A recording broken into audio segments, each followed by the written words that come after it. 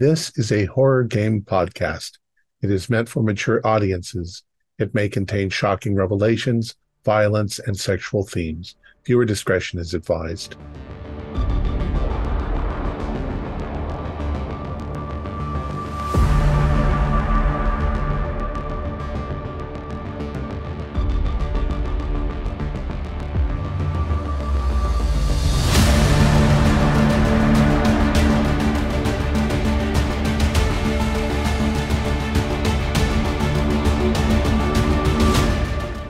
Fellow investigators, and welcome to our video podcast, Into the Darkness, where my friends and I will be playing World War Cthulhu RPG.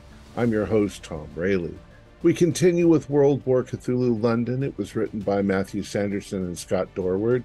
Uh, this scenario is entitled Midnight Sunrise. Our keeper of arcane lore is Matthew Sanderson, and this is episode six. Our recap will be given by Alex Sun as his character Edgar Angrave. Uh, but before we begin, we have a new patron. Uh, Opossums J has pledged $5 a month to our club. Thank you so much, Opossums J.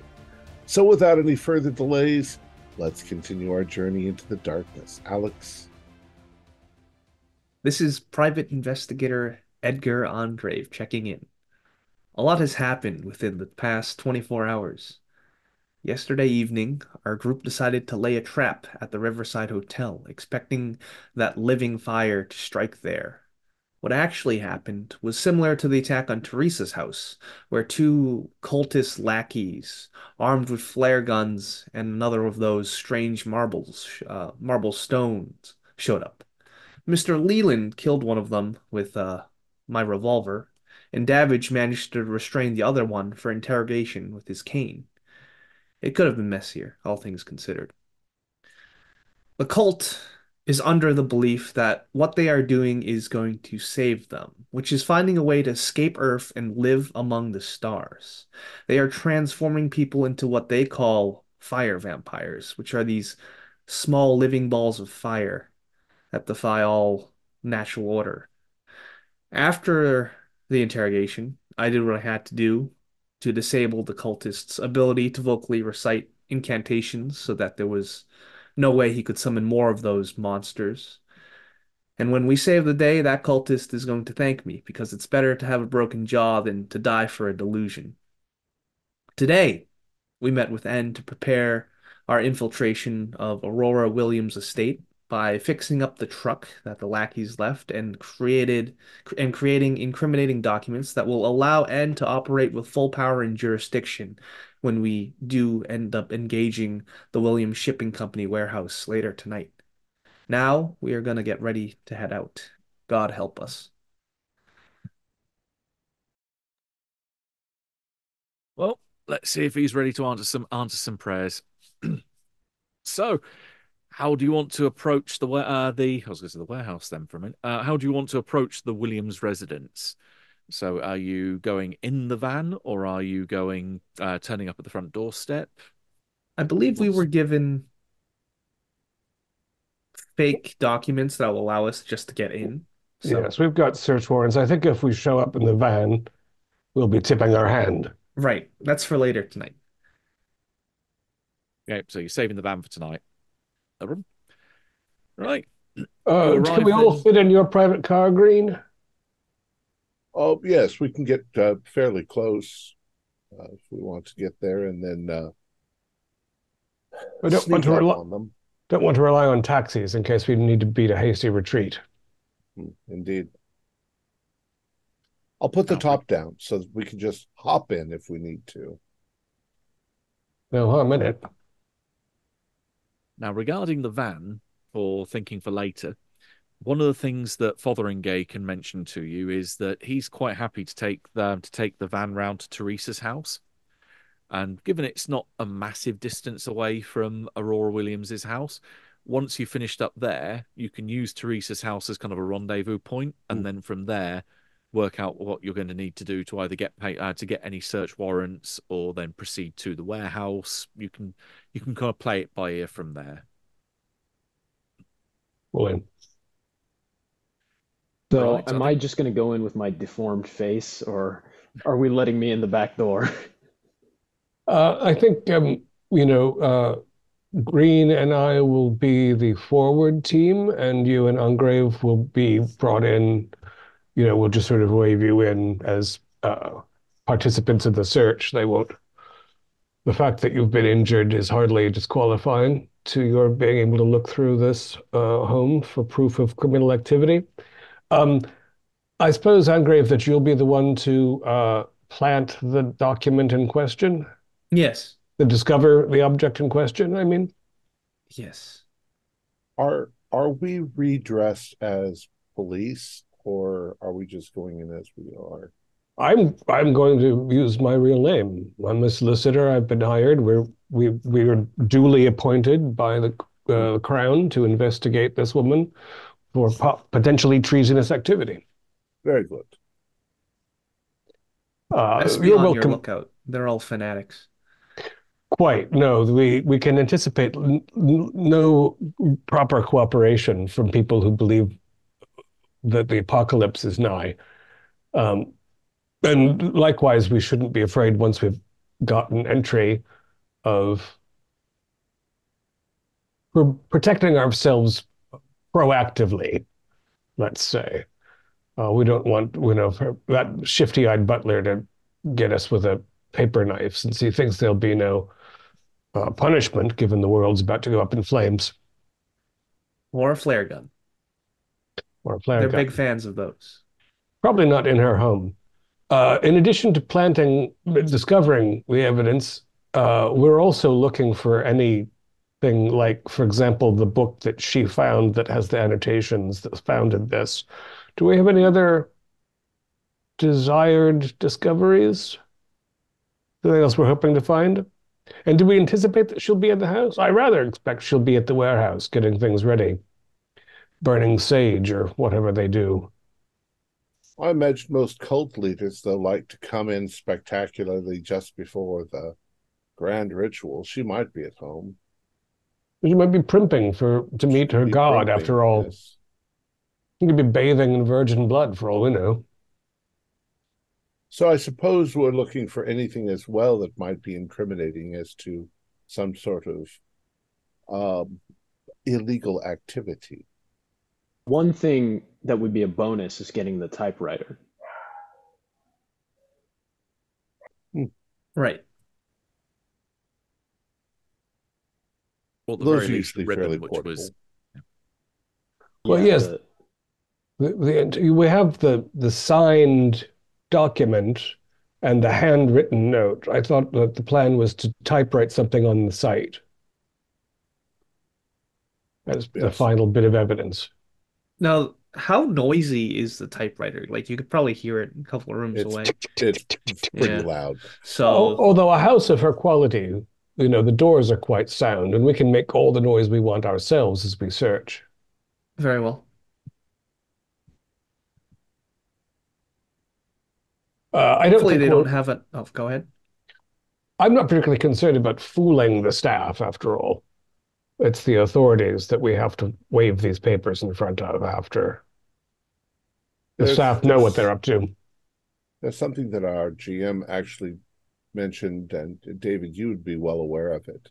Um, typewriters use a ribbon that feeds from one spool to another spool and every time you hit it it leaves that letter in the ribbon so you could literally read a letter by unspooling the ribbon and reading the words. Although generally speaking also you rewind the ribbon and use it multiple times. There's quite a bit of carbon on those tapes so. yes yeah. But we we definitely want it to be from her typewriter because there are quite idiosyncratic ups and downs yeah, not all from the keystrokes. the So, uh, assuming that they don't give us more than a few minutes of fuss, uh, we want a decent amount of time to try to uh, find her secret lockbox full of occult business. But we also want to be off uh, to the warehouse well before sunset so that we're in position uh, while the things are hidden within. So let's say we spend 40 minutes searching, and then Angrave discovers the proof positive, and we storm out, return to Teresa and Davidge's street, and switch vehicles, unless, of course, something unexpected. I'm uh, well aware of what uh, the tome should look like, so it should be very similar to the one that we already have. Right, and those annotations, while you'll have little time to study them, they might provide a key. Mm, indeed. Right then. Sounds like Tally all, ho. all your sounds like all your preparations are in place. So, unless anyone's got any last minute you want to jump in, we can cut to the front door of Teresa's house. Let's just remind ourselves who is armed and how. I know that Angrave has a revolver, is it? Yes, that's correct. And Davidge has his stick. Uh, and I have this sheaf of official looking papers. And I have Uh, my rage. All right then. And your hideous countenance. Yep. Strike fear into their hearts, Leland. Who you calling hideous? Ugh. right. The Uh, sharp- wants to... Is it a, is it a knocker? It is, yes. I shall knock firmly thrice. Okay. There's a dang, dang, dang. A few moments pass, and then the same little slit opens that you'd seen previously, and might be the same voice. It's a bit hard to tell with the the muffled of uh, muffling of only a small narrow gap and got a one eye poking out and looking or looking very disapprovingly down at you. Yes. Uh, good afternoon. Uh, I'm Milton Spofford Harris, representing Dunbar and Associates. Um, I have here an official uh, warrant to search this premises on behalf of the Crown. I'll hold it up briefly for his perusal. There's a seal on it. Uh, I insist you open it forthwith. Uh, but he kind of gestures for you to yeah, put it through the slots. So you put it through. I put it through without letting go of the back of it. Okay, he's not going to try and snatch it out your hand. He just wants to. Evidently, seems that he is quite short-sighted, so he just wants to get in close and have a look at it, which maybe uh, also helps to assuage any fears you might have had of him recognizing you from last time. Hmm. So he has a look at it, and you hear a kind of, huh. Well, normally police turn up with warrants like this. You say you're a, a lawyer. Yes, that's right. I have uh, some detectives from the force with me as well. It should Ah. only take 20, 20, 30 minutes tops, I expect. Um, and we'll probably be able to clear your mistress's name. But, you know, what with the war footing and all, things happen expeditiously at times. He he breathes in, and you can you can hear the reluctance in his in his breath. You better come in then. She's not going to be very happy. Ah, is the mistress at home then? I should like to have a word with him. Yes, she is. Ah, very good. Thank you for your assistance. He, he um pushes the letter back, closes the slot, and then there's a big thunk as the lock and a bar gets pulled back from the inside, and the door doesn't ominously creak open. It just glides open like a well-oiled, well-maintained uh, door to a very expensive property like it is. Oh. Um, all right, chaps, in we go. Um, uh, uh, sir, what's your name to the servant, the butler? Ah, Mr. Brown, Miles Brown. Mr. Brown, um, thank you for not making this any more difficult than it has to be. Uh, if, uh, which, uh, where will I find, uh, Miss Williams? Well, I'll go and call her for you. Um, if you'd like to step forward into the uh, into the drawing room, and he gestures to a door on um, on your right. Uh, you can see there's a staircase in front of you. There's an, a, another corridor that goes down past that, presumably deeper into the building. Uh, there's also another larger set of double doors to the left, that opens up into what looks like probably a lounge. It's definitely a larger room than the room he's directing you to. But yeah, there's. Um, well, actually, give me a listen roll before I com- complete that st- statement. So every everyone can try this. Oh, well, I hear all. I rolled a two. That sounds pretty definitive. I got a hard. Okay. My ears are plugged with melted flesh. Yeah, it didn't get anything. What?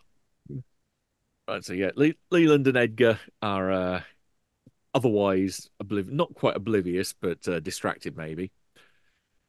Uh, Davidge and Melvin, then you would expect in a house like this there would obviously be a number of servants, so there would be a good degree of noise of people moving around.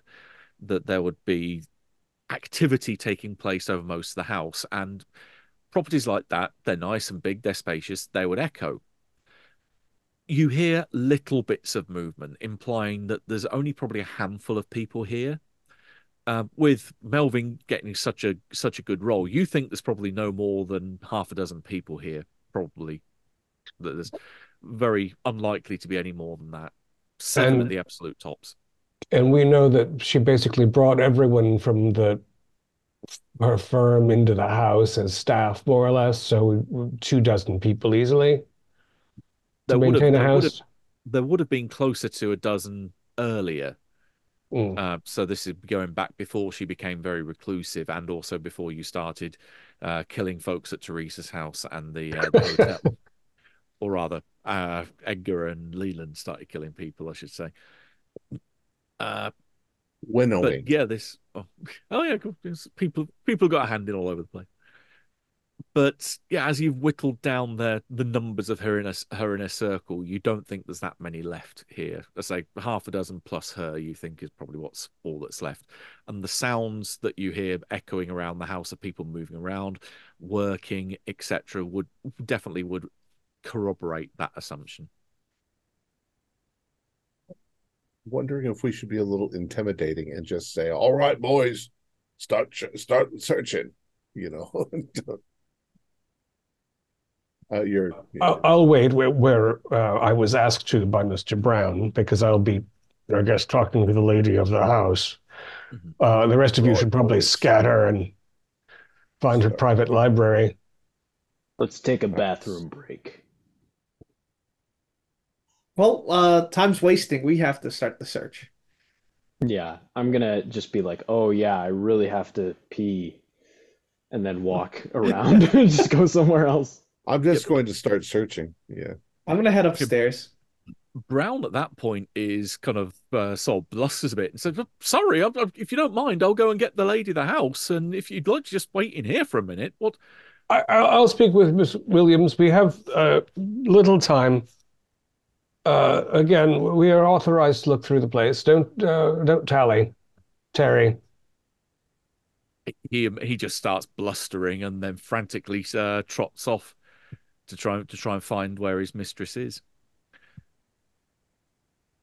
So the the the rest of you are you just going like bulling a bull in a china shop and just starting to, storming around the house? Yeah. I'm gonna make myself I'm- scarce. and Be The way houses are laid out, I can sort of guess where the library study might be. I don't need Probably, to search yeah. the dining room. Yeah, it's the, library study would almost certainly be upstairs. Ah, Um, there might there might be a larger library, more like a public function room down a library down here on the ground floor, um, probably connecting near to the lounge or the um, or the dining room in that kind of area of the house, and then that would in turn lead into the kitchens and then the exterior courtyard at the back. But otherwise, yeah, study would probably be upstairs. Uh, any other offices that are up there, and also then bedrooms and servants' quarters would probably be up in the attic. So, whereabouts are people? Uh, if you're dividing and conquering, where are people heading? Going up. Okay, so Edgar's heading up. I'll do a quick walk around down here just to get the layout of the rooms. Okay, so you're saying downstairs. Yeah. Leland. I'll go for the basement. Okay. unusual, t- unusual one, but valid. And Melvin, Uh, I'm, uh, you know, as the face, going to wait as asked for the lady of the house. okay, so you're actually being the polite one. Yeah. Okay, uh, we'll do Leland first then, because yours is probably going to be the quickest one to get to. Um, the, the normal place that you would find the entrance down to the basement would be either on on a paneled door by the stairs, or maybe like in the kitchen that then also would go down the kind of underneath the staircase. So in either case, you find it fairly easily. We'll say it's a side door uh, going off the stairs and then heading down. Um, there is a drawstring light that when you uh, when you pull it, it refreshingly comes on. So there is there is light down in the basement, and the basement mostly consists of storage and a very large and relatively well stocked wine cellar. So yeah, there's plenty of plenty of stuff down there. Um, there's a, the signs that people do come down here relatively regularly. I'll say this is a lot of where the storage uh, is taking place rather than being out on display or cluttering the upstairs. But nothing that really strikes you as being odd on face value. Um, you can give me a spot hidden roll though to see if you notice anything else that might be particularly relevant. Oh, five. I was going to say, great poker face there. But... Oh, damn it. No, um, in which case, the only thing that really strikes you as being slightly out of the ordinary um, is there is an open box on a shelf that's in the, the equivalent of a larder that's down here. And it is completely full of very large, well, not large, but long um, candles. Just more than you would expect even a household like this to have. So it just strikes you as being odd that they're, they're there. And the fact that it's still Typical open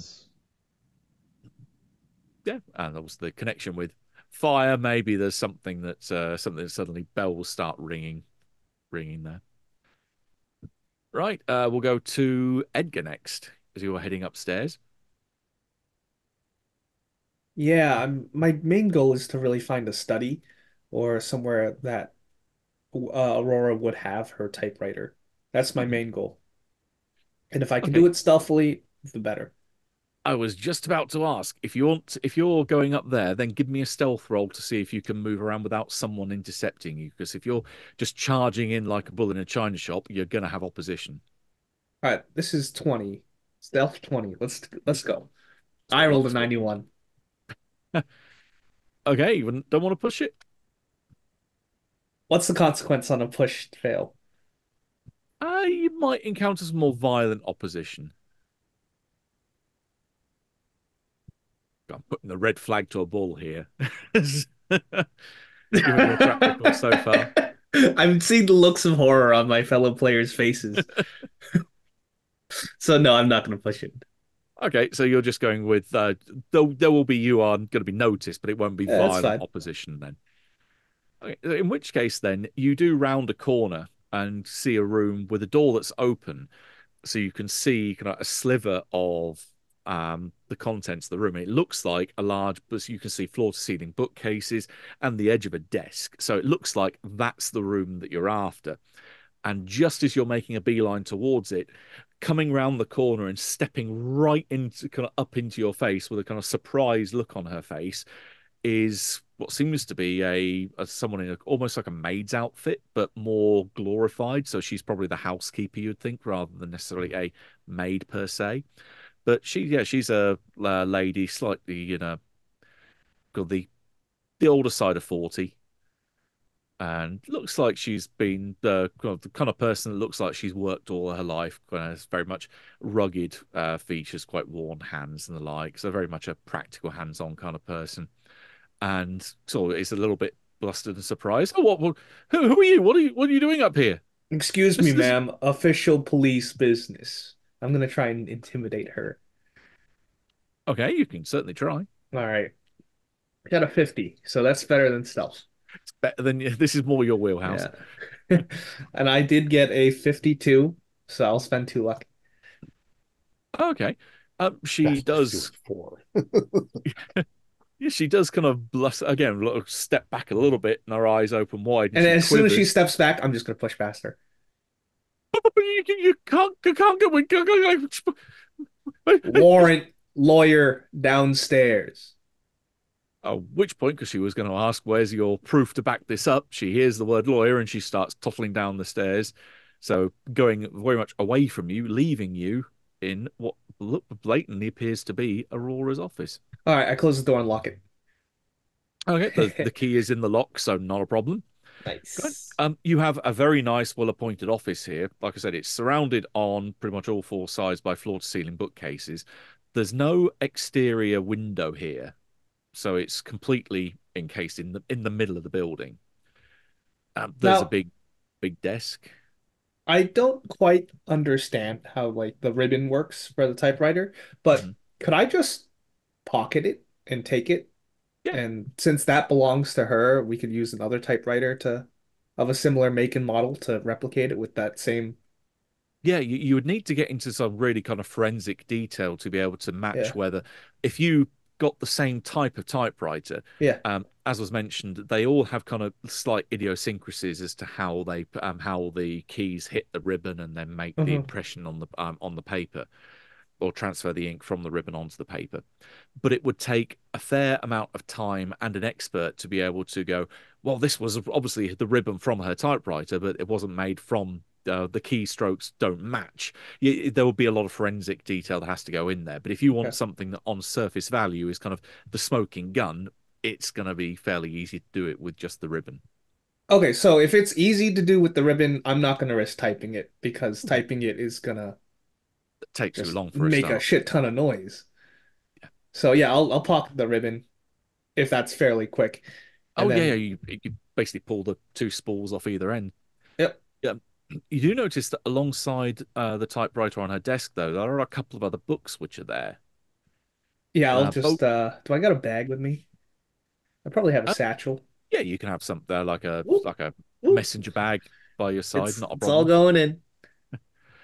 Yeah, there's there's one that looks to be effectively like a ledger, which looks to be like normal business transaction stuff, but then the other one looks uh, very much like a uh, like a journal as such. Um, it is open on one uh, one page spread. All right, Which and it's the can- you most recent read. entry. Yeah, you can read that without any difficulty. I think I will. Let's see what we have here. Night dash F SE Southeast maybe. A one nine Sunday 10 p.m. C probably for uh what was his name? Ca Cha Chamberlain hmm that uh surgeon. Two nine Monday 10:25 p.m. This is probably tracking the that um astrological um star in the sky. because there's- which Yeah. identified SE as southeast, and F would make sense with Fomalhaut, so that yeah, it's This is this is easy for a detective such as I. Uh, There you go. so 4-9 we have Dunbar at 10:15 uh, denoted by D. Nothing on 5-9 on 6-9. Uh, there's a W most likely for uh, the person we saved. And then. Mr. seven nine is a very ominous all at 10 p.m., which probably means the entire world is gonna go up in flames. So, optimistic there. yeah.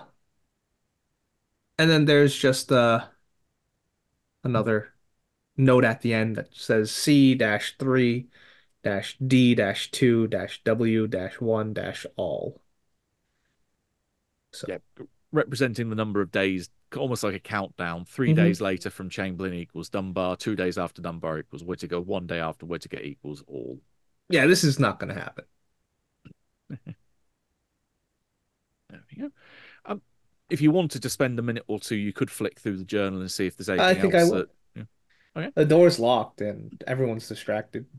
And it's a big, heavy door, so no, no one is exactly going to run in and uh, disturb you at this point. So yeah, you, you can have a look through, and there is one section that does stand out, mainly because of the the writing at the bottom of the page that seems almost incomprehensible. But then the text above it definitely uh, definitely strikes uh, well, this catches your eye. Well, let's have a That look. looks All right, let's see. Huh, this journal entry. Now I know why these are called the forbidden arts. Not that they are evil, but that there is some knowledge that humanity should be forbidden from knowing, like the knowledge of its own destruction. I have seen the future. I have seen the world engulfed in flame until it is no more than a lifeless cinder hanging in the cold void of space. Everything I've ever known, everything I've ever loved, will all be consumed in fire. I gathered my friends around me once more to show them that the horror that was to come, so that we could search for a way to stop it, to avoid it. Together, we called to the herald of the true flame and begged him to spare this world. It was the hand of man that would burn this world, not him or his master. There was nothing he could do to stop it. However, he could save his followers by becoming as he in service to the true flame. We could be spirited away from this lifeless rock once it had been destroyed by man. The arts in the book would allow us to survive the apocalypse, but what life would it be to remain on a dead world? We accepted his offer. There would not be time to call him again until the sky had changed, so we had time to prepare. Summoning him, as the book states, could kill a number of us. Having thought about this for a good many nights, the answer finally came to me. Who better than those who betrayed me and left me as I am? They are going to die anyway in the inferno, so why not let their lives be spent saving us? By wrapping them in flame and subjecting them to a small part of the pain I have endured for years at their hands, I might also finally have some of the revenge I have desired for so long. And then there's this absolutely insane rambling at the end. There were at least a couple of words there that you've uh, been acquainted Yeah, with so far. Cthugha Fomalhaut, Mhm. and then Yep. I don't And- recognize this language. Language. No, there's just a load of uh, loads of consonants and the occasional uh, apostrophe thrown together. Right. Uh, there is one other book actually I forgot to mention on the desk as well, besides the ledger, which just looks like regular business uh, accounts here. Um, it's a small leather-bound octavo volume that has a couple of straps that hold it in place. Um, it looks old. So Now, does it look like the ancient uh, pyromancy book that uh, Davidge wanted? if you flick open the front page, it is. Yeah, I'm looking for the annotations. Yeah, uh, there's tons, all, all written in red ink. So All right, this I'm gonna grab this the look- annotation annotated book for Davidge. yeah, this looks like the Book of All Forbidden Arts, the one that had the the extra notes that have been put in there. Okay. Now I am carrying so many valuable things to our cause. I just need to leave. I need to get out. Okay, so you're going to you're going to start heading out uh, back or back downstairs or Yep. wherever to go to. Because of what you found there, everyone can do this for where you are in the building because this is something that you all may have noticed uh, going to different parts. Um, you can give me your choice of idea or spot hidden. I'll take an idea. Mm, as well. Regular only. I got a regular. Are we all rolling for that? Yes, because you're you're admittedly while you're all going to different parts of the house, this might be something that you all either realize or notice. I got a spot hidden of 13 and 12 is extreme, so I'll spend one point to make it extreme. Okay, I mean hard would have been hard's good. So if you want to save onto your one point of luck, you never know you might you might need it. All right, I'll save it. And- And Leland, I also got a hard spot hidden. okay. In which case, then, from all the different parts that each of you have gone into the house, that's we'll get to Davidge in a sec, and then say back to to Melvin. But rooms or corridors that you go down in the house, you notice occasionally there are sections where there's just a blank piece of wall where it feels like something is missing. And then you're thinking, well, what what's missing? What would be if it's like a painting that's hung up there or a picture that's hung up? It then kind of dawns on you, uh, particularly when Edgar reads that last bit about how she's been left in this state that she's in. There's no mirrors Mhm. anywhere here. Ah. So maybe it seems like any mirrored surface or decorative mirror have all been taken uh, taken away. they Just remind her uh, of of her own pain. Yeah. I did I did keep a, a pocket mirror just to shock her if need be. You certainly did. Mm-hmm. Mhm. Look at it. Right, so that was uh, as you've got your uh, smoking gun, as it were, from upstairs. Um, and then David, you're downstairs. You're downstairs. You're doing a uh, skirt of the rooms down there, and I won't give you uh, any point with a listen roll. You're just gonna you're gonna hear it if you're walking around downstairs. Uh, you do hear the butler's voice, uh, presumably coming from somewhere back near the kitchen, uh, very flustered, where he says, uh, my, my lady, my lady, there's a there's there's some people here. There's a there's got a lawyer and there's there's some people with police documents. They say they're detectives and they you they they, they they they've split up and they've started searching the house. They're what what what what's going on? They, they, they want and a very calm, uh, but force uh, calm but authoritarian response is, "Don't worry, Miles. Don't worry. Where are they? I will go and see them now." And depending, do you want to be there to intercept her when she comes into view, or where do you want to be? I would rather not. I'll let her go past towards uh, Melvin. Okay. In which case, you hear two sets of foot, uh, footsteps going down the uh, down the hallway. Uh, you hear as you've gone past, as you're or they're going past where you where you are. You can quite happily tuck yourself into the uh, into the dining room while they go past in the uh, the hallway out the corridor outside. Um, you hear her say to the butler, uh, "Bring them to the uh, bring them to the library, uh, not the library, the lounge." And then the two sets of foot, uh, footsteps diverge, and Melvin hears someone coming towards uh, coming towards the door. The butler returns back in, uh, straightens his jacket, and says, "Yes, the uh, the lady of the house will uh, will see you now. She'll receive you in the in the lounge." Uh, thank you, Mr. Brown. After you. And yeah, he directs uh, gestures for you to follow, and uh, promptly looks around, trying to work out where everyone else has gone, and then just resorts to uh, yelling loudly, um, "If uh, our visitors would like to come downstairs to the uh, the lounge, the lady of the house will uh, will see you now." Which Edgar catches this muffled kind of "You can see her now," from downstairs through the big, thick, heavy door. Uh, yes, Mr. Brown, again, um, we're trying to cover a lot of ground as quickly as possible, so I'll speak to the mistress and we'll let the lads get on with what they're doing. Uh, okay, okay.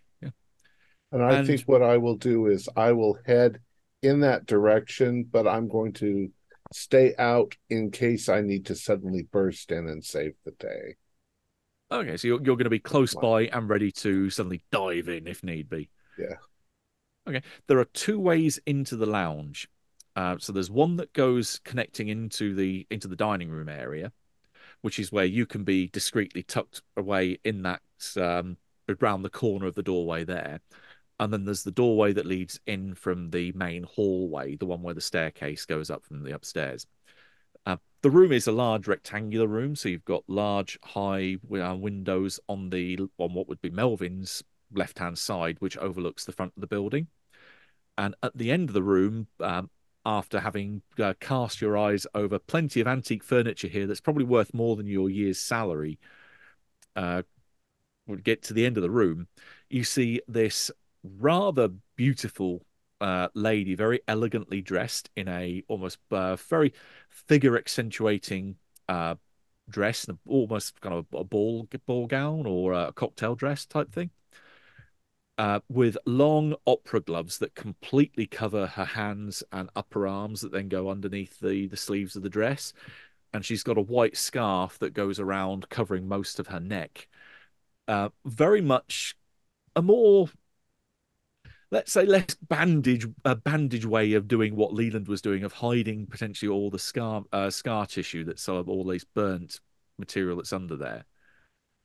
Um, she's got quite uh, striking red hair, uh, half of which kind of take uh, kind of covers one side of her face, and then it leaves just this one kind of piercing eye looking at you, but otherwise this completely blank and emotionless expression.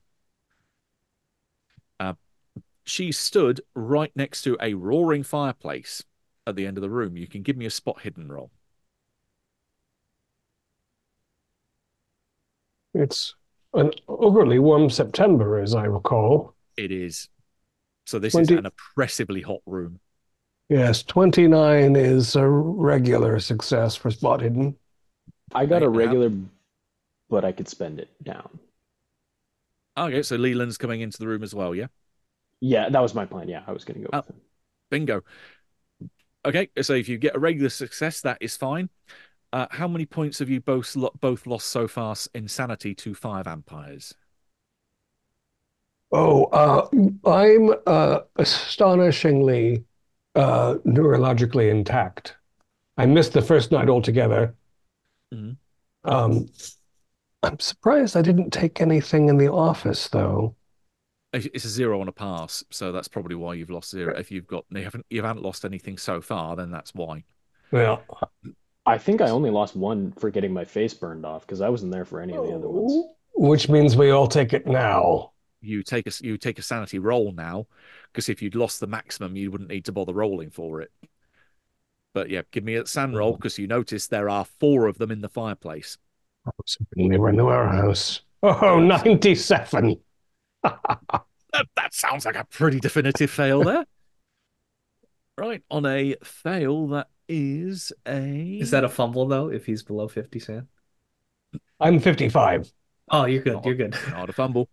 Still a Ooh. d6. Two. Okay, you are. Perhaps having met one already with a with a, uh uh uh fire extinguisher, I feel but four of them. Five. Uh, Oh, right. Being Leland, burned do you- alive by them didn't help. That very true. That definitely puts kind of crimp on your day. Uh, do you want to give me a uh, int roll for that?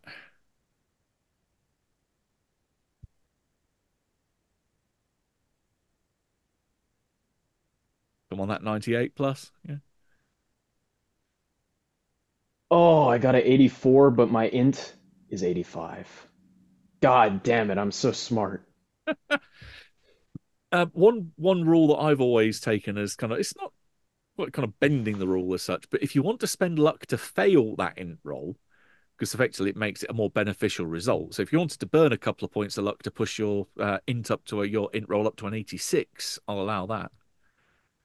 Otherwise, you can just go crazy if you really want. Um, you know what? It's Call of Cthulhu. I have to go crazy at least once. Okay, So I'll keep it Yeah. fail. right. In which case, then, yeah, you see these uh, these things there. Have you got any points of Cthulhu Mythos yet? Nope. Well, you've got five now. And yeah, your uh, your moment of insane insight is that yeah, these things are these uh, that are hiding fairly discreetly, almost orbiting one another in the flames that roar up from the uh, the burning logs in this very large fireplace. Uh, that these things are just a small fraction of the uh, the horror that's going to come down from above. That this ultimately their their create their source of creation, their uh, the point of their inception is just one thing in a larger chain that is ultimately every source of fire in the universe. You're almost getting this uh, what was it scaling out view of eternity and creation that everything is just fire or everything that will if everything that is not fire will burn and it's going to start with you right here how do you want to how do you want to flip out Is there a window in this room?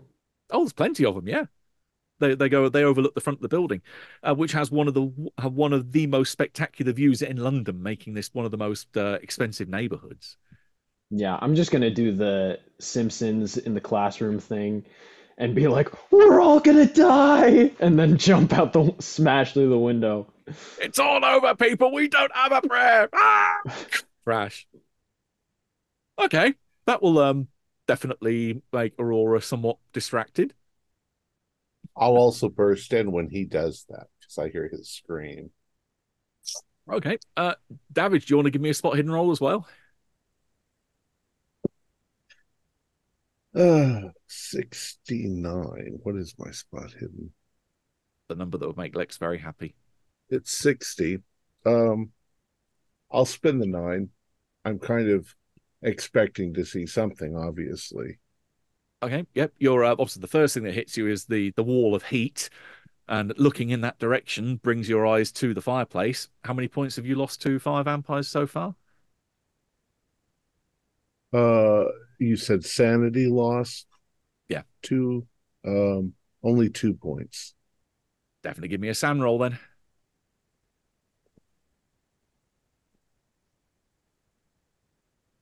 I got an 08. Okay, you're not phased at all. So Yeah, 0 I'm points on expecting um, pass. Yep. Although there is the uh, the sound of Leland crashing through a, a window. Um, I'm going to say that if you're uh, doing a good running uh, craze dive, I'm not even going to give you damage for that because it's just just think it's funny. So yeah, you just, you're out on the street without any uh, without any compunction and running down the uh, running down the road screaming. Uh, you can be doing that for one d10 rounds. So give me a a roll on d10.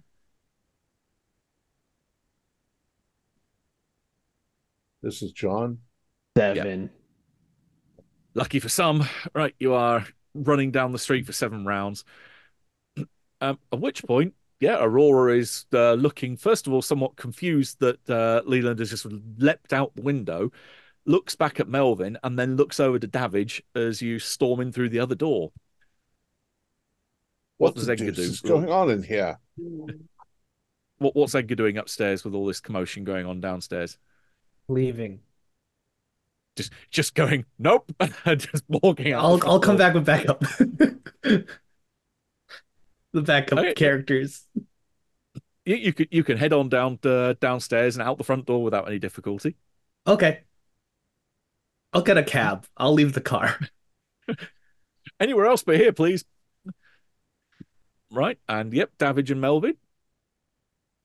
Uh, um, uh, Miss Williams, uh, I'm sorry. Um, naturally, uh, you'll be remunerated for the damage to the window. Um, I don't know if you saw Officer Leland before his panic, um, but he he uh, recently was burned very badly, and I think the the blaze here somehow disturbed him unreasonably. I'm sorry. Can we discuss this back in the study? I, I, it's rather warm uh, in here, rather un, uh, unnecessarily. Is, is, do you mind? Uh, but I do, as a matter of fact. You have you can say what you have to say and then leave. Oh, well, uh, right, very well. Um, uh, and I'm my my plan had been to stall for time while the team did its crack work around the house. Given that one quarter of the team uh, has further mangled his recent injuries by throwing himself through the glass, possibly onto a shrubbery or a iron fence, uh, that Davidge is here not searching for anything. Um, I don't suppose there's much need to stall for a great deal of time, so I'll. And now that I know that she could have me immolated in a moment, uh, I, I'm also reconsidering. So, um, I, you know, I'm going to uh, offer. Uh, you know, I, uh, Mr. Brown has already looked at the documents. I can show them to you if you're interested. Um, were you aware that there was a a, a, a death last night in the uh, Riverside Hotel in Chelsea? Yeah. Yes, uh, a couple of gentlemen previously in your employ uh, attempted an assault on a Mr. Whitaker. Are you familiar with Mr. Whitaker, Miss Williams? Yes, I am. Do you have any idea why a couple of gentlemen formerly in your employ would have attempted an assault on Mr. Whitaker? If they are formally in my employ, I don't know what what would be the motivations for their actions. Why not ask them? Well, as it happens, uh, as I said, one of them uh, was fatally injured in the assault. The other won't be able to speak for some time. He uh, succumbed, he he uh, suffered some facial injuries that render him temporarily immobile in the lower facial region. Um, That's unfortunate, but he can still write, surely. uh, yes, that doesn't mean he's cooperative, however. The man seems downright fanatical and terrified of some event that he anticipates in the immediate future, almost as though he anticipated some sort of attack from the Boche. Why would he have the idea that the Nazis planned an attack for the near future, Miss Williams? Well, we are at war unless you hadn't noticed. Yes, and we've been taking some precautions, but this man seemed um, has expressed a, a, a maniacal certainty that our doom was imminent. I think that would also seem a fairly reasonable assumption to make, given that we live in a capital city. There is the threat that, or as they say, the bomber will always get through. We are pretty much the the main target in this country, outside of military installations. Do you speak German yourself, Miss Williams? Yeah, Do you I'm have fine. contacts in the contemporary German state? I haven't been to Germany for a long time, but I have been there. I used to go to the German part of the Alps. Hmm. Um, do you have any um, active correspondence with anyone in Nazi Germany?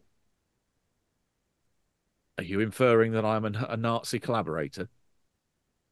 Well, again, when uh, someone recently of your employ attempts to uh, murder a, a, a, a British magnate in a rather obscure fashion, immediately after another notable citizen with whom you have previously been associated, Mr. Dunbar, was uh, immolated in his office.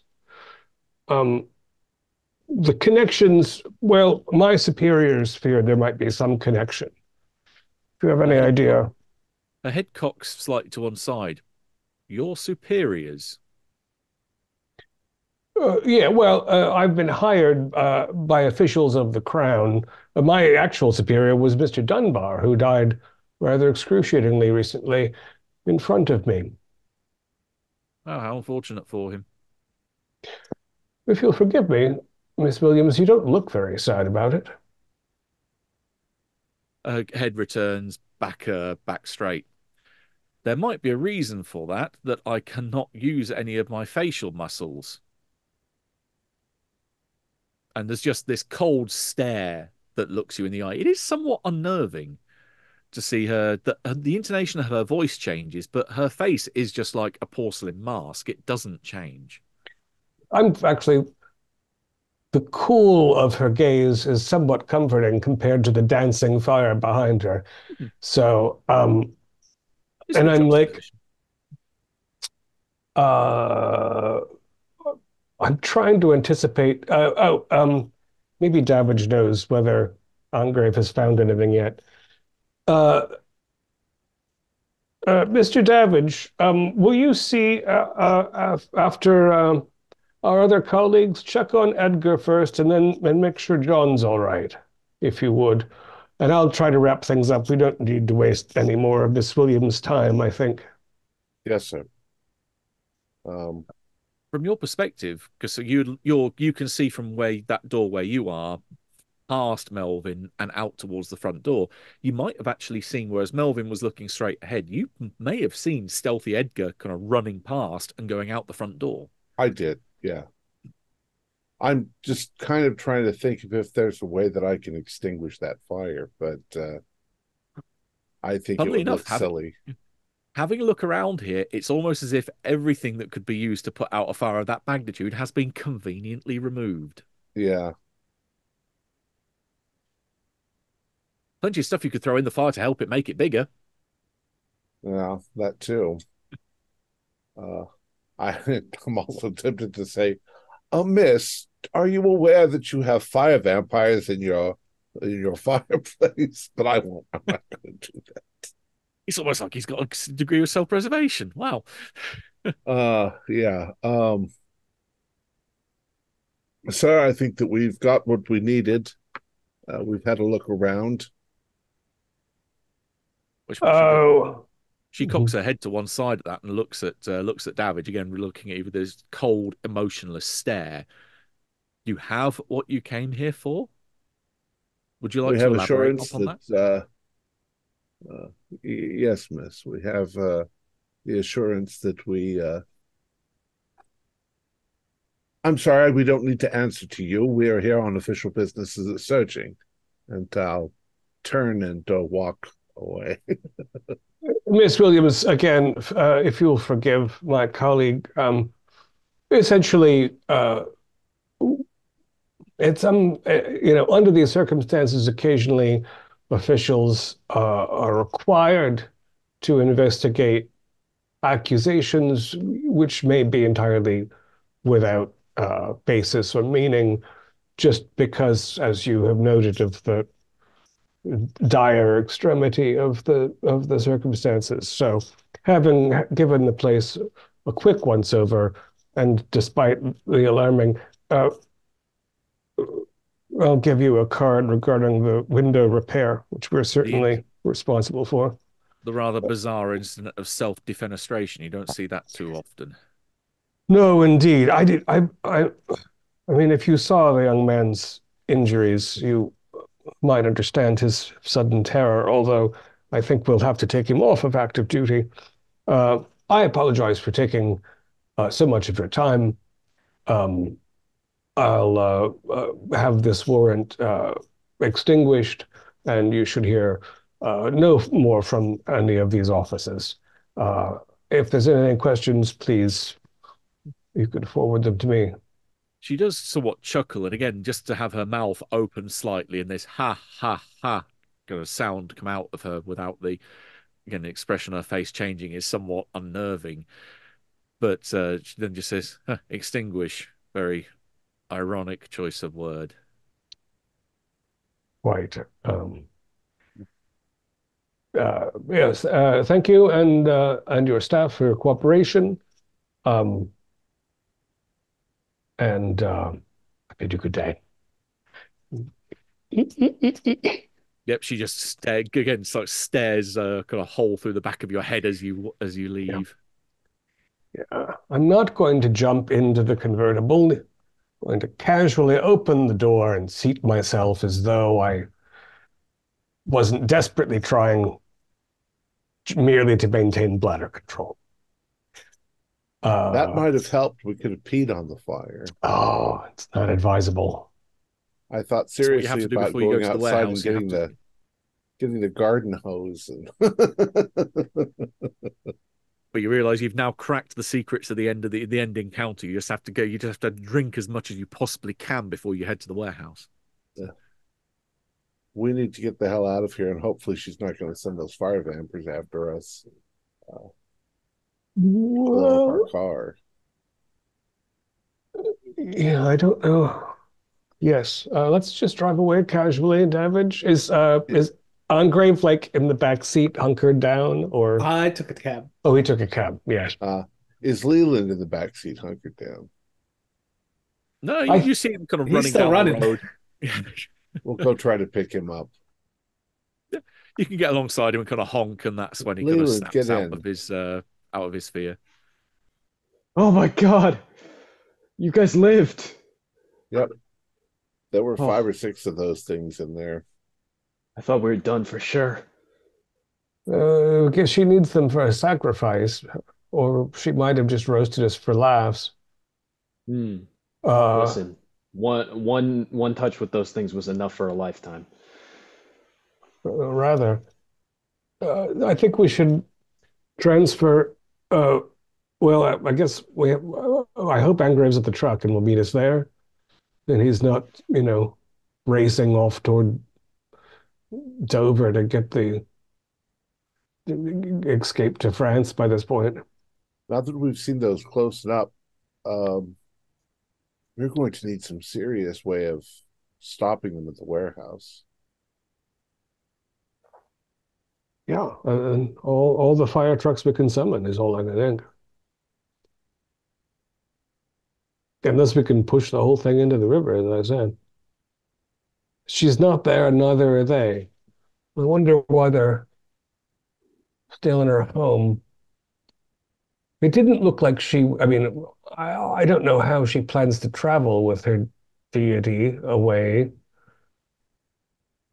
but um, I, I think the idea is that the fire turns them all into fire vampires. They can leave. So they're going to immolate themselves. why hasn't she already, I wonder? Well, maybe there's some part of the ritual that they can only do so much. Timing, yeah. Hmm. We haven't actually seen Ongrave's evidence yet, so Well, they had some candles in the basement. If we screwed up their plans too much, they might just, unless there's something they need in the warehouse, I don't see. They could just do it in the mansion, and then that would be pretty bad. that's true. They might have some ritual space though they need. Yeah. You didn't see anything particularly obvious there. I mean, the only thing that really would stand out as being a nice wide open space to do anything would have been the back courtyard. Yeah. But again, that's not that's very open. That would attract the attention of any ARP patrols, etc., or anyone out after blackout. Right, and there's a few hours after sunset that they need. If they get into the warehouse, though, they can close the doors so that nobody from the outside will notice them. Mhm. They might also have a gigantic triangle of uh, Assault. stone in there. Yeah. At any rate, Norton thought it was the warehouse, and I think he's probably right. So, uh, now that we know the vampires are in her home, and she is, maybe we can do something at the warehouse before they even arrive. I feared we had to wait until later in the day, but we can get there. We can uh, retrieve our uh, army of fire extinguishers from the hotel and station them inside the warehouse. Give Let's get the back to uh, back to Ongrave and uh, Teresa's house. Okay, so you're heading back to uh to go meet for Fotheringay Yeah. there with the van. Okay, so you we can bring you all back together again. It's about let's say that took the best part of an hour and maybe an hour and a half to do that from to go get to the house, then uh, going round the house and then getting to Teresa's. So you went in about three o'clock, I think we'd agreed last time. So it's now about half past four. Oh, Mr. Green, good to see you. You're gonna love this book. And I'll hand you the annotated pyromancy book. I'll uh, look through it immediately. Right? You've Uh, got I'll sit German down yet? and begin to study it. What was your question? I'm sorry. You, you've got German? I've got uh, 40 in German. Yep, you can give me a you can give me a German roll. Oh, I got 18. Okay, that's good. So that's a hard. Um, the main thing is that here it's very handwritten script. So because none of this is printed, Right. even the original uh, the original book itself was still handwritten and illuminated. Mm. Um, or not not so much illuminated, but there there are certain flourishes in the text, Sure, like certain bits are written in red and so on. But everything in the marginalia is obviously handwritten as well. In a very cramped hand, which it does take the best part of the next hour to go through it to be able to Right. uh, to be able to decipher what's there. But you do spot with a hard success maybe something that is cause for concern. Uh, the definitely the word Cth- uh, Cthugha, Fthaggua, they come up. Uh, Fomalhaut, all these references get repeated in a number of places Mhm. expanding upon fire, the relation between fire and the entities, uh, between the star, between the fact one's a god, and this herald of the true flame, this Fthaggua creature that's described, apparently riding on a comet as it scours the universe looking for other places where Cthugha can burn. Uh, it relates certain instances of gifts that can be taught or learnt to communicate with the uh, with these beings, or how to manipulate flame in particular ways you come across one particular rite or ritual or spell, for want of a better word, um, that effectively describes a fire walk. And maybe it puts the context of why she was stood right next to that uh, big roaring fire into context. Because it describes how you can leap uh, by setting yourself by effectively de- uh, declaring or offering a a prayer to Cthulhu.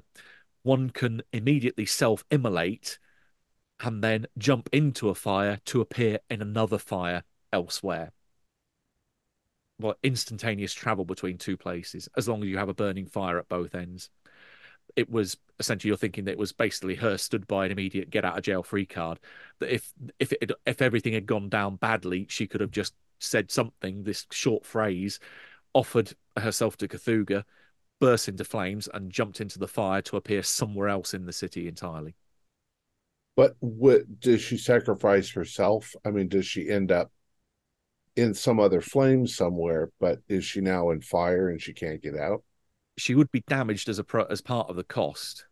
So it's definitely something she wouldn't want to do like willy nilly. It's something she'd have to do under dire circumstance. But, But it's she presented doesn't with get life to- or death. She doesn't get to jump back out of the fire and not be burned up. I I would assume if she had like a, a bathtub right next to the flame that she came out of, she'd just jump into there. Once once she appears at the other end, then she would be not on fi- she would be not on fire at the destination point. But she would Okay. be just Yeah, coming so- out of the out of the bonfire. So I'm I'm envisioning then not to bring up modern references, but like in Harry Potter where they jump in the fireplace and they come out in another fireplace. Okay. Yeah, e- it. except that it's the to start the whole process, it sets her on fire and does damage at the beginning of the process. Yeah, so it hurts a little bit, but it doesn't kill her. Correct. That's a problem. Uh that means and I'll I'll say to the others I've I, that I found this, it means that during the fight this evening she might find a way to escape. And there's Not if she's way- distracted by showing her what she really looks like, Yeah, well, which I mean, would give she's us a human.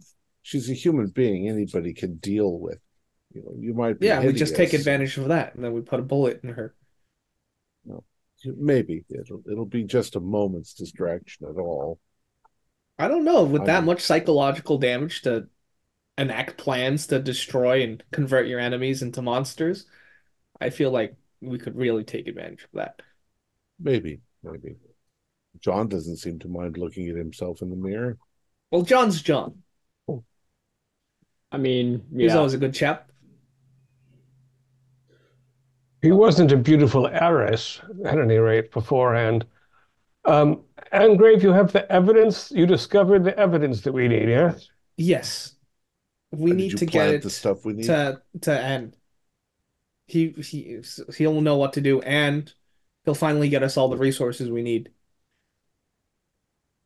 Yeah, Fo- Fotheringay nods. I mean, that that sounds ideal. I mean, we can get the we can get that to him now. He kind of looks off towards the uh, towards the window, looking out the, towards the front of uh, Teresa's house.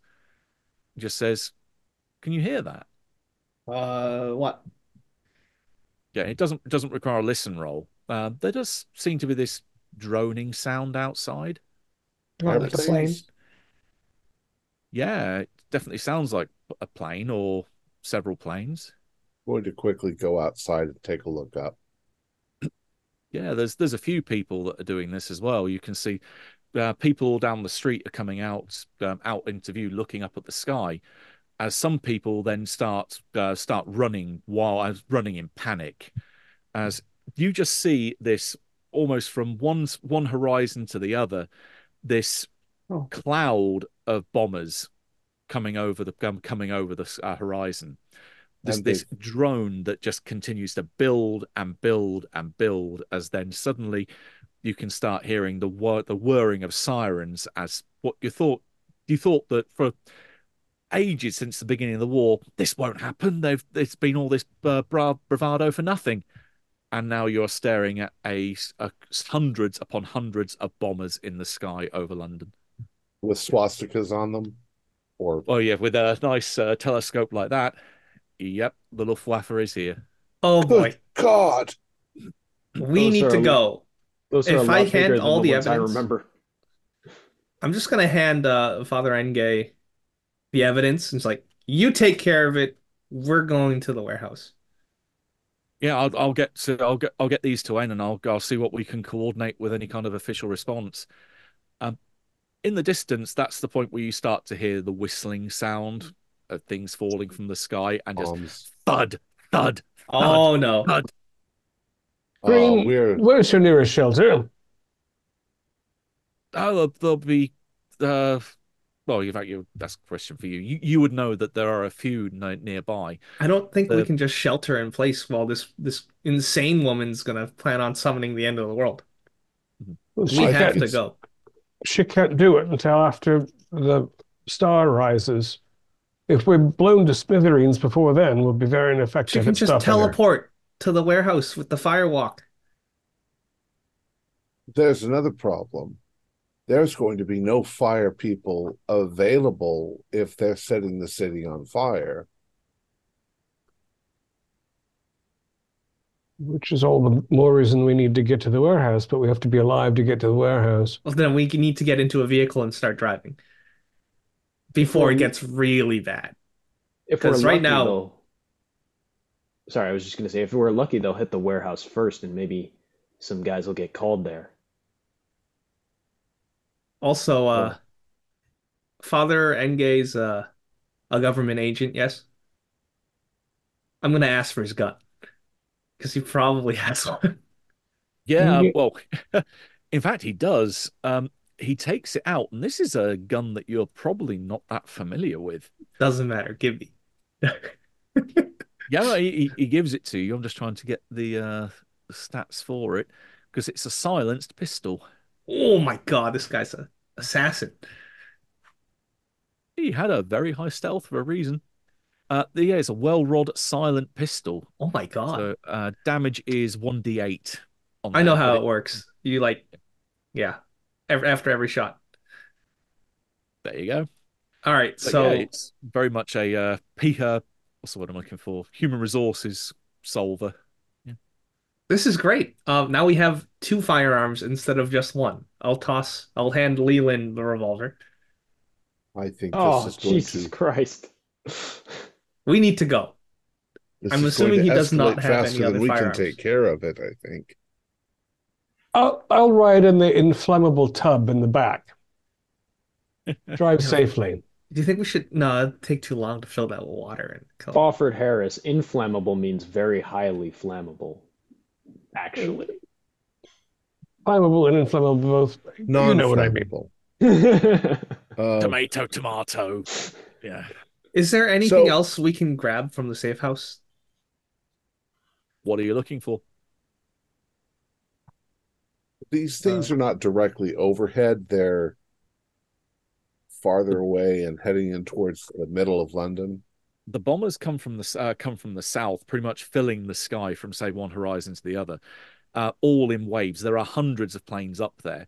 They are raining death all across uh, the sky to your south, and as they pass overhead, all over the top of you, and continuing to do so as they uh, they head further towards the north. London as a whole is their target. It seems that there are people running in the streets, screaming, getting uh, trying to get to the air raid shelters.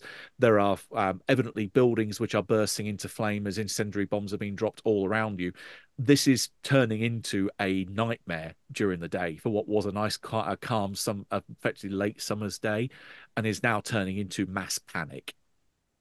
So would would we be able to estimate when the bombs are going to be dropping literally right over our heads? Now, you- You, you pretty much hope that there's nothing coming straight down on top of you. I'm not going to be that cruel. Yeah, that's why we but- should get into a vehicle right now and get to the harbor. my reason for asking is because I have incredibly valuable books in my home right there. and do I have time to run in and grab them or am the bombs are dropping? So if if you want to grab them, or as this may have been something that you've uh, that you could have prec- uh, made precautions for beforehand, if they are that expensive, you may have a basement in um, in the house where you've put stuff in there, effectively almost like a, A fire vault. safe. So yeah, they, Yeah. they are in a vault, making them all right. protected in case I've of put this. them in a vault beforehand. So Oh, wonderful. That means we can just drive to the Now harbor now. who's like- who's driving? Who's great at driving? Well it's my car. So Well, you I'll better uh, floor it. We're not taking the Probably truck as planned. Uh, oh the truck. Should we take both vehicles? Whatever's faster. Oh yeah, we'll take both vehicles. Because honestly, we're being bombed right now. I think that plan has gone out the window. We just need to stop this crazy woman. I don't know what we're going to do when we get to the warehouse now. It's... We can lay a trap. Right. The first thing to consider then, how or rather, what route are you taking to get there? Now, I'm not expecting you to know London geography, uh, particularly uh, well off the top of your head. So I will outline the the two main options that you have available to you, assuming that you want to go by uh, by at least by road. The most direct option from here will go uh, from Teresa's house would be go towards the Blackwall Tunnel. That will then get you under the Thames and will bring you up an area roughly in the Docklands area, which is very much close to the Williams warehouse. So that is the most direct route. Uh, but that is also directly into the path of where the bombers are flying. If you want to take a longer, but what you think would be probably comparatively safer option, that would be to go via the likes of Tower Bridge and then over the Thames and then look back round from there from the northwest to then approach the Docklands. I think we need to go under. I think we should. You better be a good driver then. I think we should go both ways, one in each vehicle, to increase the likelihood that we're not both bombed to smithereens. Yeah, I was gonna say, say that too. All right. In that case, the people with the guns should split up. Right. And we had fire extinguishers in the back of the truck, so we'll move some of those into D- Davage's vehicle. Sounds good. So if if we're the likelihood we'll both be bombed is halved, I trust. There's no no kind of fire shield that you read spell in in those annotations, Savage. There is actually, Holy shit! but it's not so much what you're thinking of. okay, It's actually a spell called Cloak of Flame. Uh, what it yeah, does just do that, is please. What it, what it does is effectively it uh, creates this barrier around the caster that it hurts them again in the process as well, but it also sets anything that attacks them on fire. So it's, Yeah, it is it's- like a, a wall of flame that acts as a barrier. It's not a force field that keeps us safe from fire. Well, it, Oh. it, it kind of doesn't. It doesn't. It kind of it makes you safe by setting you on fire. So, That Yeah, sounds a little nah. counterintuitive. I should have found the water spells that could uh, make it rain or uh, Wrong book. But as as you have mentioned, the fact that you want to make it rain, because this was something that was discussed last uh, last episode.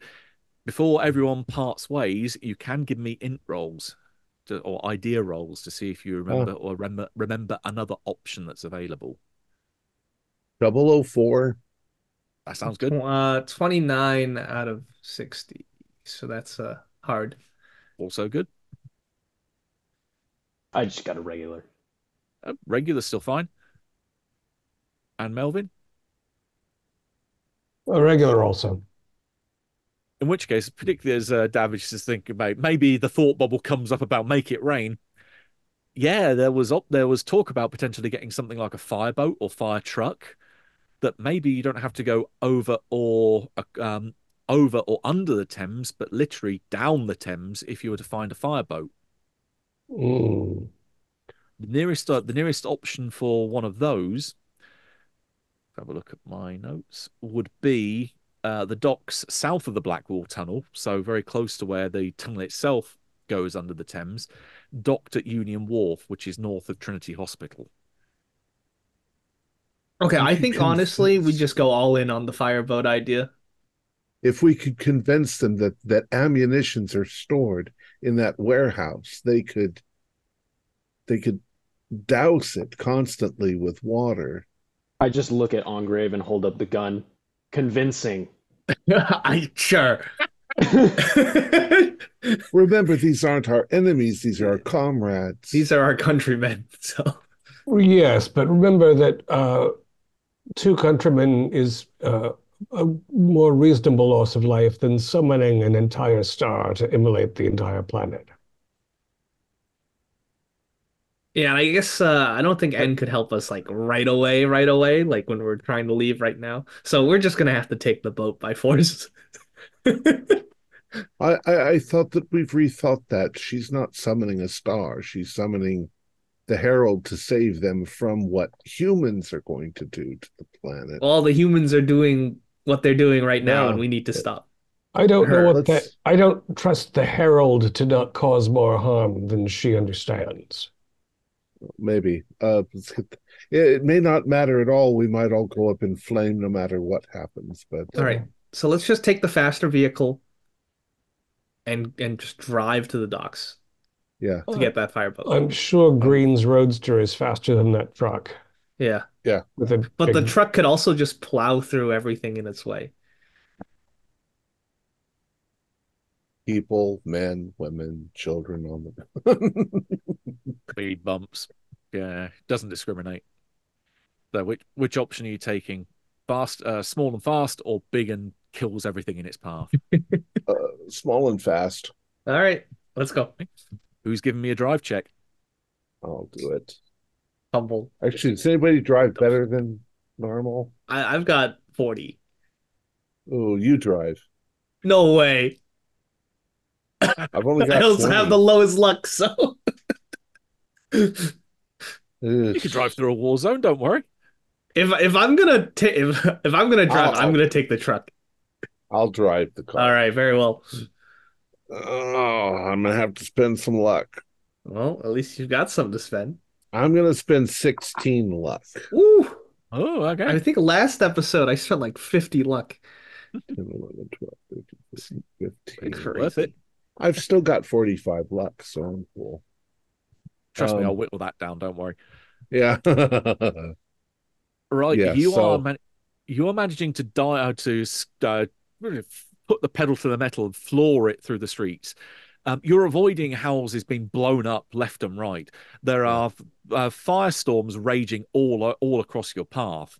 Um, you are literally driving through what you would think would be a perfect representation of what Aurora described in her vision of the world on fire. The, Yeah. the city is burning. There are people running, screaming. There are people running, burning out into the streets, collapsing, uh, collapsing down dead, kind of or blocking your path. But you are at least able, nimble enough to be able to skirt round them.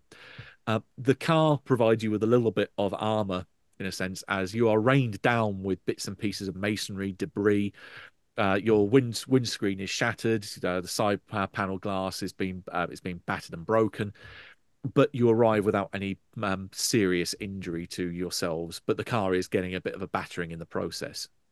Okay. Uh, That like me- a SAN. Uh, yeah, I think go, driving through, especially well, we, you wait until you get to the dock, Mhm. uh, Docklands. There's some uh, description of what happened there. Uh, being that this is a uh, particular historic event that you're uh, going through right now. Yeah, give me a Well, um, give me a SAN roll for g- experiencing all this. John's John's familiarity with fire too. Uh I got an 18, so I'm cool. I'm Yep, more yep. uh, my adrenaline is way up because of the driving. I uh I actually failed, and um, since I'm already indefinitely insane, I'm gonna go into a bout. Yeah, If say I take at one- least one. I only the one point for uh, for fail, Yep. so nothing on a success. How does Edgar want to flip out in the back of the car? Uh Don't do the red mist. no, I'm not. I'm just um you know what's gonna happen? I think I'm gonna start screaming and I'm behind the driver, so I'll start shaking his headrest. Yeah, well I'm driving like a maniac, so I, I think dri- driving like a maniac and having someone uh, pretty distracting behind you that'll that'll force another drive check. Hell yeah. Oh, and I already spent all those fuck. Got a 63. I would have to spend 43 points. Oh Or no, you could how much? Push And it. I've only got 45. Or you can push it. I could do it's 20 points. Uh, Well, uh, I'm going to crash then if I fail. If you yeah, at the minute you're going to uh, I'd say on at the minute you are distracted enough by Edgar that you're going to maybe bounce off the curb, hit uh, hit a bollard, and it will immobilize the car. But otherwise, if you want to push it and then crash, it will be damage for everyone in the car when you hit something significantly more solid than just something that wrecks the wheels. Did I push Spend it? the luck. Car crashes are pretty lethal. Everything. Oh my God. Um, I'll have less luck than you, Edgar. I know. Uh, Told you I'd get through it. yeah, pretty I'll, quick. I'll I'll spend the luck. Oh no, I am literally down to two luck. Well, oh, party luck roll, here we come. Right, uh, you are barely keeping this car on the road. You're bouncing off the curb, but at least not hitting anything that would uh, that would trash the uh, trash the car and the wheels. So it means you're able to get down to the docks where there is this big old fireboat down there, uh, massive hose at the um, at the bow, another one at the stern, where they just rip water straight out of the Thames and then pro- project it at high um, high pressure onto large raging infernos of which there are going to be a whole. This is what you would call a target-rich environment for uh, for the fire brigade at the moment. And are is there anybody on board that's? They are frantically getting ready to cast off. I'll, go running down the docks. Oh, there's a warehouse, a warehouse filled with ammunition. We must keep it from blowing up. Yeah, um, you hear one of the uh, one of the uh, one of the deckhands yell back, "Yeah, the whole of Silvertown's ablaze. Everything's going up over there." Okay, I'm just gonna jump on the boat and draw my gun and intimidate them It'll, because it'll Yeah, be me like an too. atomic bomb. Wait, we don't know what that is yet. Oh, um, I'm just yeah, gonna that- say, damage- who knows how to drive? there's a whole lot of people looking very stunned as you're pulling guns on them. They're just kind of putting their hands up and just fro- froze Uh, in fear. drive a boat. I've got one. No, we're gonna no. I'm asking them. I'm gonna force them to drive. Oh. Well, yeah, they know what they're doing. Yes, we don't. yeah, there's a couple, pretty much a whole load of them are kind of going, well, we're part of the fire brigade. yeah, how many of them are there? Launch the Uh, ship. Would say would say there's five of them. Okay, so I'm gonna say you three off. Okay, and keep the three- keep keep two that like know how to operate it and to drive. Because that way we're outnumbering them and we can so it's easier for us to force them to do something. So let's drive. Okay, um, I'm not going to give you roles to intimidate them. It does. It's kind of irrelevant. You have a gun, and well, two two people are guns, and they don't have any. So okay, we'll we'll do whatever you say. Especially if you want to go put out a fire at a warehouse. That's kind of what we we do. Damn straight. I hope we don't need five people to run the ship. No, um, you mainly you mainly need one person to to pilot, but that's not essential for the whole job. Once you effectively park or drop anchor, you don't need to worry about the the pilot at that point. To use the funnels, uh, the hoses at both ends, or the projectiles at both ends of the boat, um, if you were to pull parallel to your target, um, you can direct both of them at a target at the same time. Uh, these high pressure hoses throw out a, an immense amount of water and a very high pressure.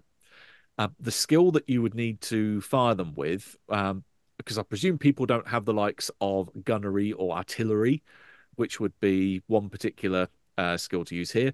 The other one would be rifle shotgun because it is effectively like a long barreled gun. Oh, I, I got Well, good Oh, skill yeah, in that. like I Also, we have water two firemen.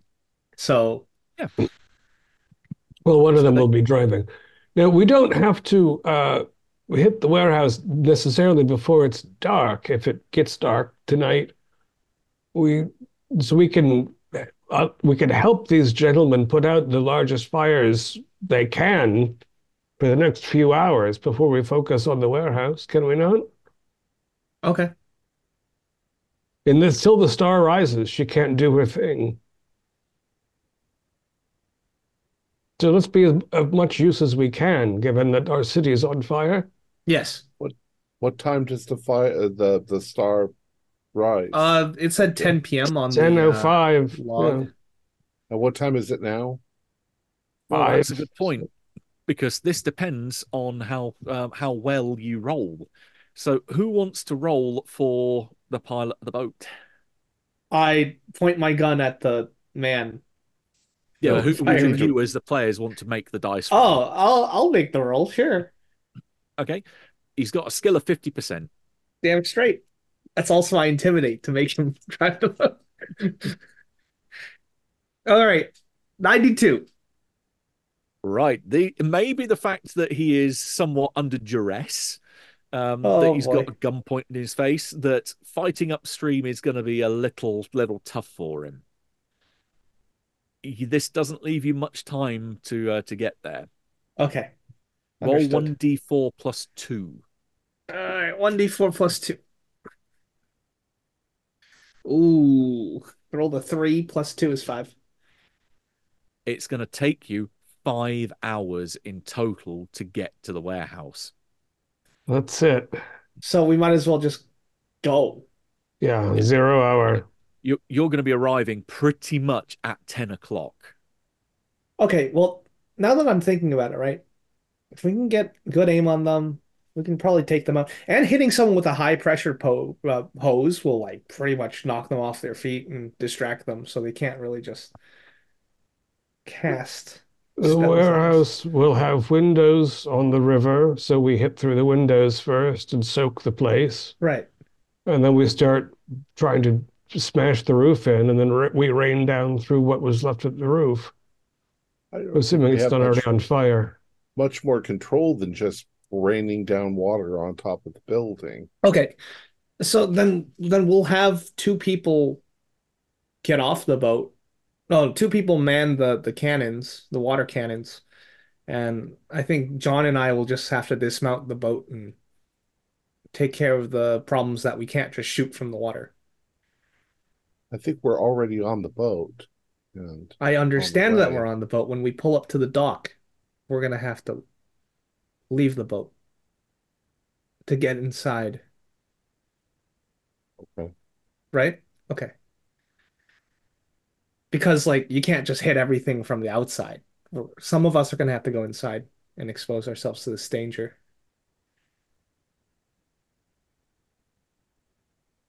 There are there are a few things that you'll notice because this is going to take a long time to be able to get a, across the Thames and then be down uh, down there as well. Um, you're fighting against other boats which are also doing similar things to you, so there's a lot of traffic out there on the river that you're having to navigate around.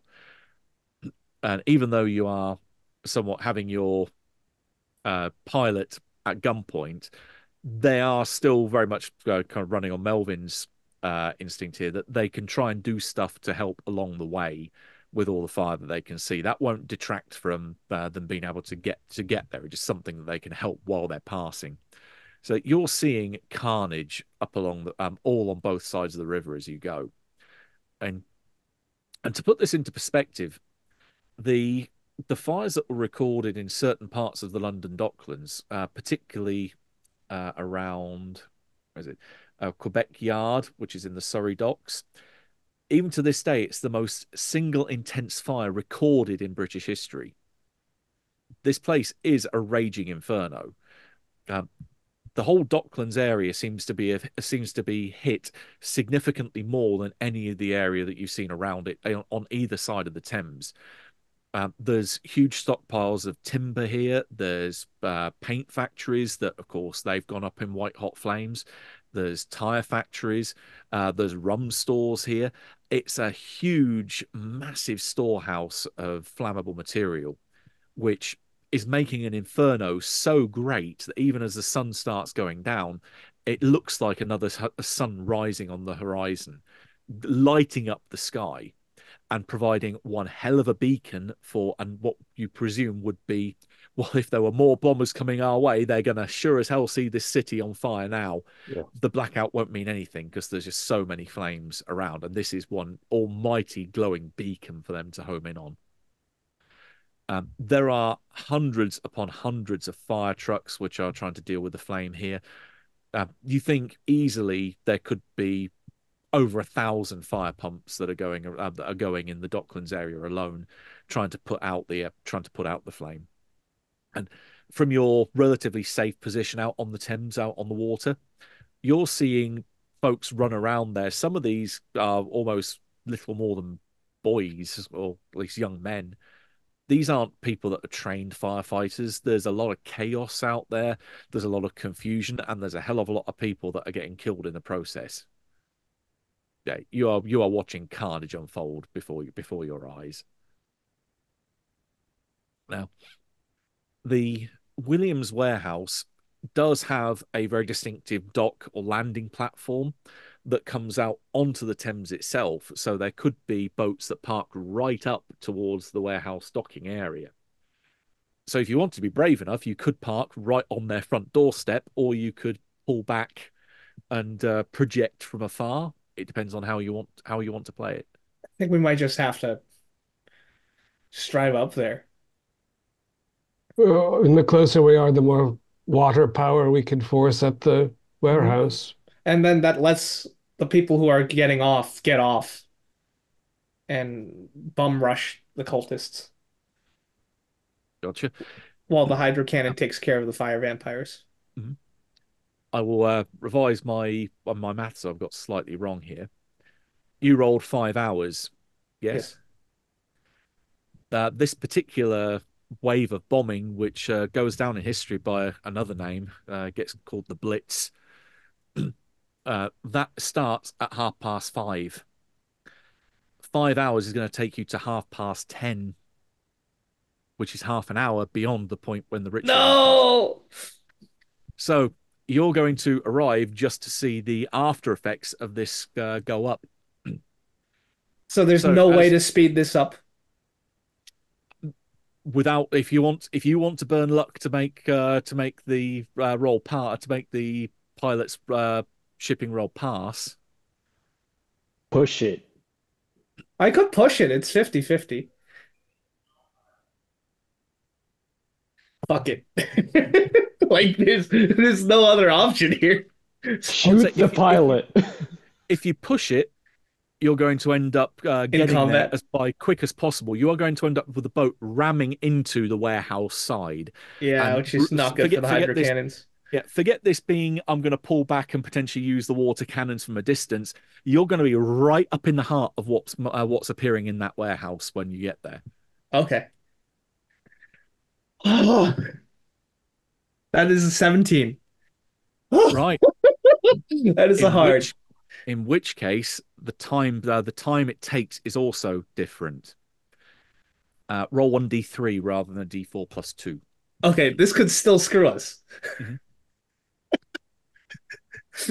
I rolled uh four hours.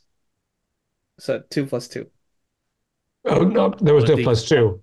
Oh, It D3. was just oh, one D- D. I, I rolled a I rolled a two then. Okay, so it takes two hours. Yep. So instead of it being half past 10, it's now half past seven. So it's still, uh, this would put you just after sunset, I believe. Uh, just coming up to sunset. In fact, it's, uh, it's now 1914 hours is when, uh, is when the sun goes down. So you're pretty much just on the cusp of dark. Although considering the whole skyline is completely ablaze where you are, it's kind of irrelevant. It's still very much light. The Uh, city is but- all fire and the sky is all smoke. It doesn't really matter what the sun is doing. Yeah, but it also means there's no small, smaller sun hanging over the warehouse when you get there. That's uh, probably a, a more important aspect. So you have a good, clear two and a half hours before any ritual goes down. I think we should set up an ambush then. Get the boat in position, and then also see what's going on in the warehouse at all. I think there might be people stationed at this warehouse to do preparation. So if Is- we uh, deal with them, there'll be less to deal with when they all come. Right. Now, Angrave, doesn't it make sense to fire the water cannons through all of the windows, which will probably Yes. disorganize them Yes, before you and John go in, guns blazing? I think so. Yes. And this is it already on fire? Everything else is on fire. The warehouse is not on fire. No, everything else Oh. around it is. But this is this is looks like it's avoided taking any direct bomb uh, bomb strike. But you know, also you'd notice that there's plenty of areas here where I think even uh, Fotheringay might have informed you there were plenty of uh, security guards or um, police security personnel around the place. There's none now. It seems I like when the bomb started when the bomb started falling, they all ran like hell. Now, with the chaos of the bombing, would I get a bonus to my stealth? I, I think that's completely reasonable. Okay. So we could very well sneak in and I could use the silence pistol. Hmm, potentially this is again these are options. Yeah. Although, looking at the time, we've got about 20 minutes. I don't think there's enough to justify another session going on after this. We can probably wrap up tonight, but we will take a bit more than the 20 minutes time. So if people are happy running a bit longer, That's fine by me. Works yeah. great stuff. In which case, do we want to have a quickly well-timed bio break for those of you that took the advice of uh, of filling up on as much water as possible before turning up to the burning building? to, That uh, sounds good. be your Yeah. personal extinguisher. Perfect. All right. Quick fire Maybe up. what, five minutes? Yeah, five five minutes be fine. All right. See you soon. What's the name of the tome that I have now that has the annotations? Uh, the Book of All Forbidden Arts. Uh, the the German title being uh, Das Buch aller verboten Kunst. Hmm.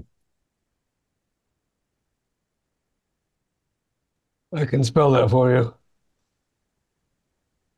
That's Okay. okay. I just, I think I've got it written down somewhere else in my notebook. I just couldn't find it. Yep, because there are spells in there for you to learn if you do want to uh, start digging in there. There's quite a fair, a fair few actually. Let's have a quick look. Not just fire ones too. It had all of the forbidden mancies. And all, all the notes specifically relate to pyromancy. They are they are Cthulhu related spells. So Well- you've got uh, candle communication, which is very helpful. Ah, So that's the that's why she had all the candles in the basement. we've had that in a game before, haven't we?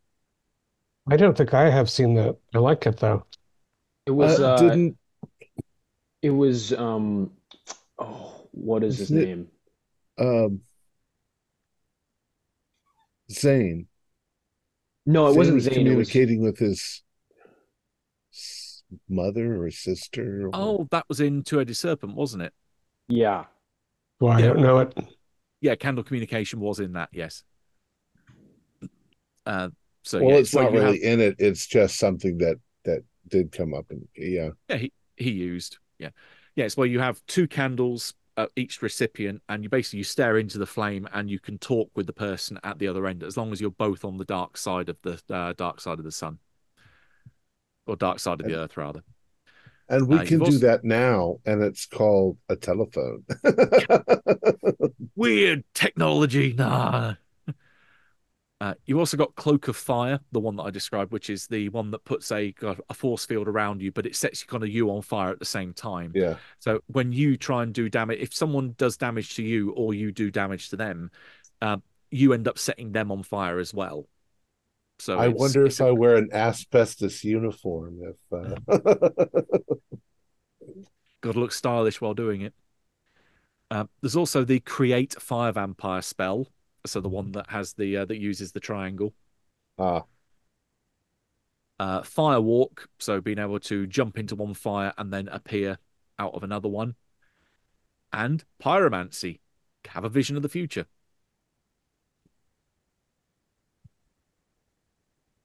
If only she'd been um, comfortably in the Midlands when she'd cast that.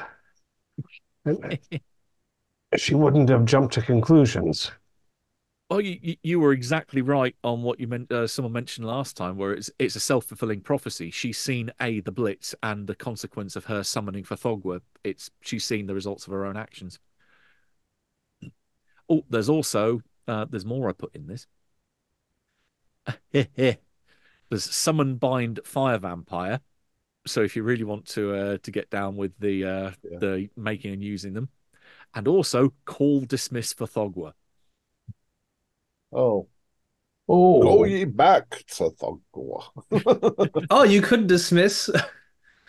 If if he had the yeah, time to well, sit I haven't had time to read. read it quickly, David. Read quickly. Point the gun at Davidge. Read fast. yes, that worked brilliantly on the pilot. It did actually. We got there in two hours. After we reset time, Yes. Right, We yeah, uh, loaded in uh, an earlier save state. Actually, I'll give I'll give you a bit of a heads up on that with the um with the call dismiss Fthaggua, uh, being able to get an idea of how that works.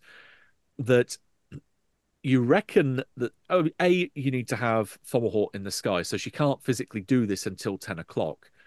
But she's also looking at a fairly impressive amount of magic, or in in mechanical terms, magic points that she's Right. looking for to uh, to power this. She needs a, qu- a, quite a lot. She needs sixty magic points to be able to cast this. So she's going So to have if we to can kill all of her friends before she casts it, then she won't have any magic to cast it. and also the fire vampires that you know that was her plan was to use them as the fuels as the fuel source to be able to cast uh, to cool this thing Ah, down. yeah, that makes sense. So if we extinguish those fire vampires, that's pretty bad for her. It certainly We just don't know how put- easy that'll be. They well, we've got a hydro cannon. might just boil the water. Well, Like, only one way to try. The fire It's like- extinguisher worked.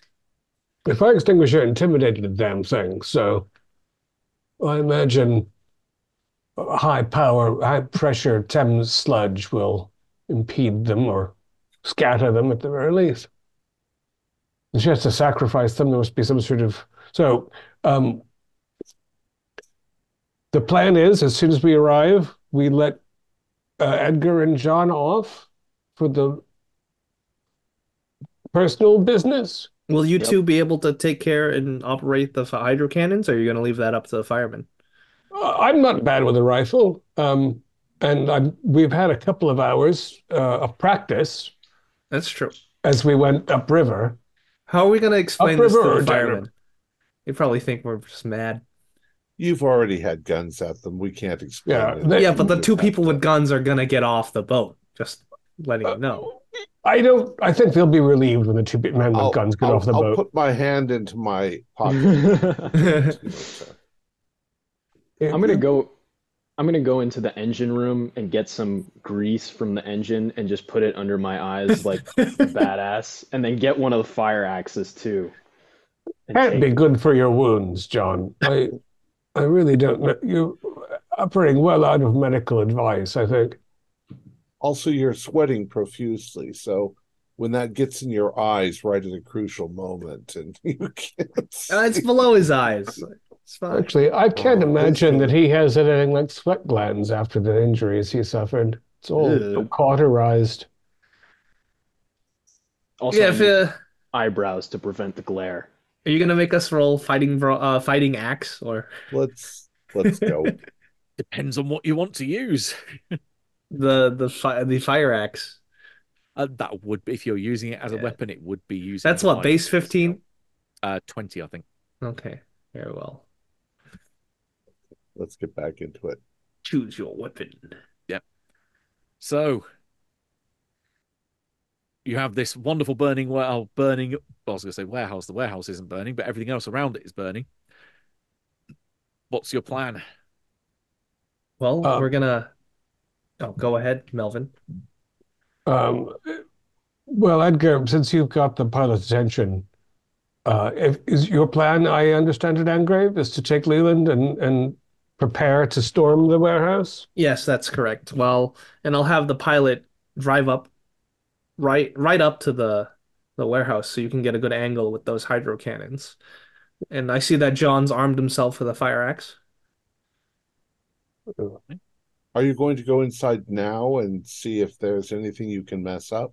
Yes. So do you want to give us a signal before we launch the water through the windows? Yeah. Um. And Well, how here's the long thing. should They we might be storing some of those um, fire vampires inside. Don't say that in front of the staff. I have a gun. It's fine. No, I have to deal with them. Just make sure Oh. you say the crazy things outside of their hearing. It's very loud. The world big on fire. All right, very well, very well. Yeah, um, I think you just go off with the fire, uh, the hydro cannons. Just soak the place. That'll draw attention, which will actually help us. Yeah. All right. So, as soon as we, as soon as you disembark, we're going to hit all of the riverside windows, blast them in, soak the place, and then start hitting the roof and adjacent buildings Yeah. so as to make it. And then you can assess the situation, perhaps, and direct us further. Good. Yeah, like like a Yeah. creeping barrage. You just sort of fire in front of us while we're going forward. All right, so wish John and I luck. You you've got this, Melvin. You've got this, David. It was a pleasure meeting you. Famous last words. Right. Uh, to get some bookkeeping out of the way first, uh, because you've mentioned you're wanting to use axes, there is the fighting axe skill, which is specifically required for using the axe to hurt someone with in combat. It starts at 15%, not 20%. Oh, it was 15. But yeah, you've got a better memory than me. I think it was I think it's uh, uh fighting spear came up in the game I was running on Wednesday, which was Jeez. 20%. Not the uh what are your fighting brawl skills? Mine's 60, so I believe that gives a bonus to the fighting axe. Yeah. Exactly that. Yes, it gives you an additional plus 10. Woo! Ha! Minus 45. You're five points off. You need 50 as the magic number. So Well, you're on 15. Now, if you want to use it as the sharp end, then that's axe. But if you want to rotate it 180 degrees in your hand and basically use the flat edge of it, which would just be effectively a glorified club, that would be fighting brawl. Hell yeah. All right. Just Yeah, you- I'll have a fire axe too. Could I have like a put a makeshift holster like for it? Good. It's your belt. You can sling it, sling it down your side. So that's Yep. that is not a problem. So I've got a Welrod silence pistol and a fire axe.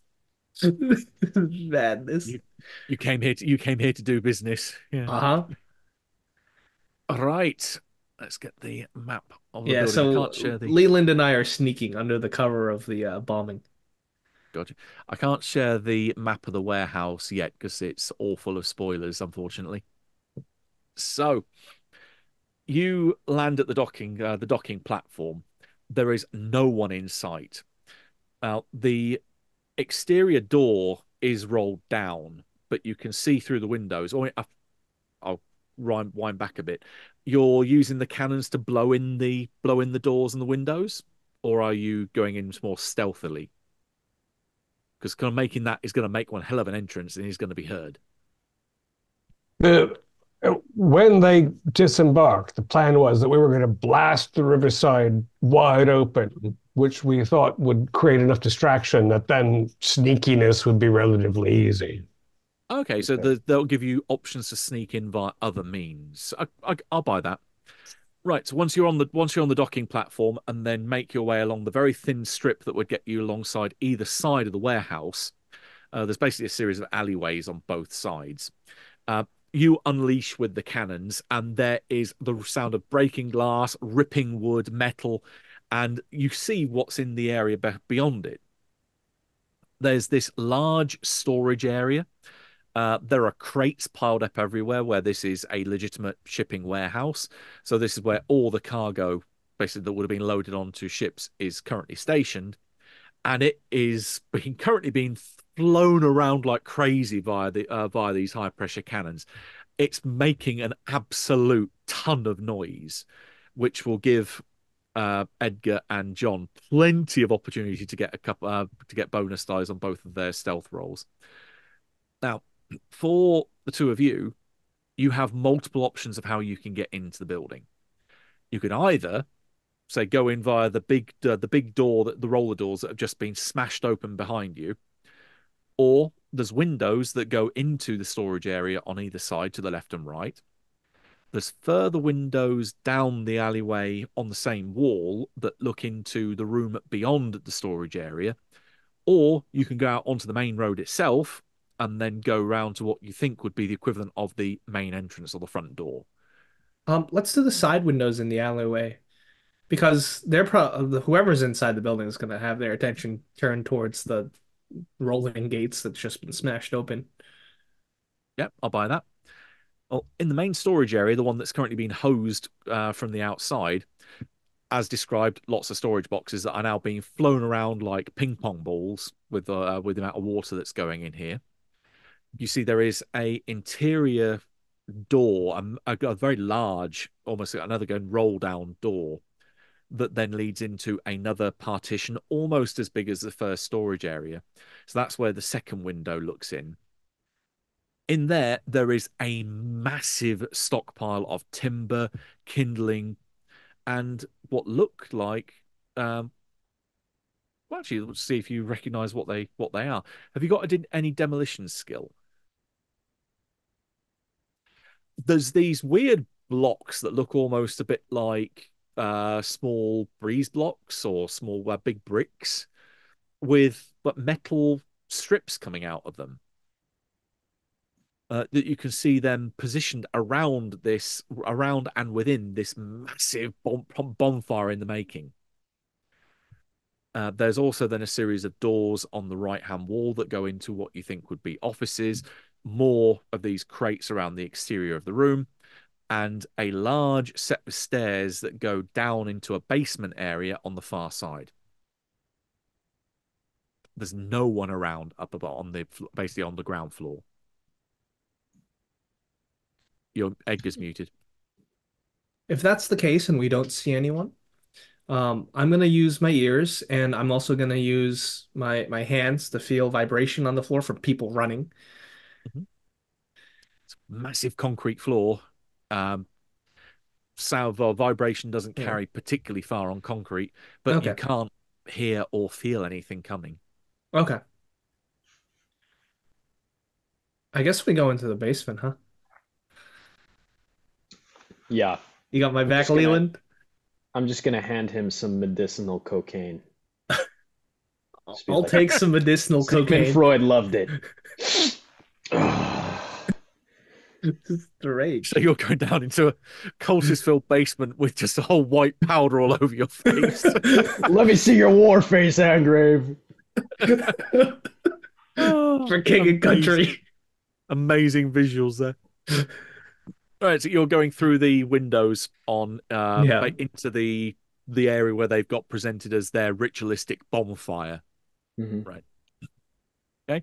Um, there is a massive skylight above the uh, above the bonfire as well that's all ready to go.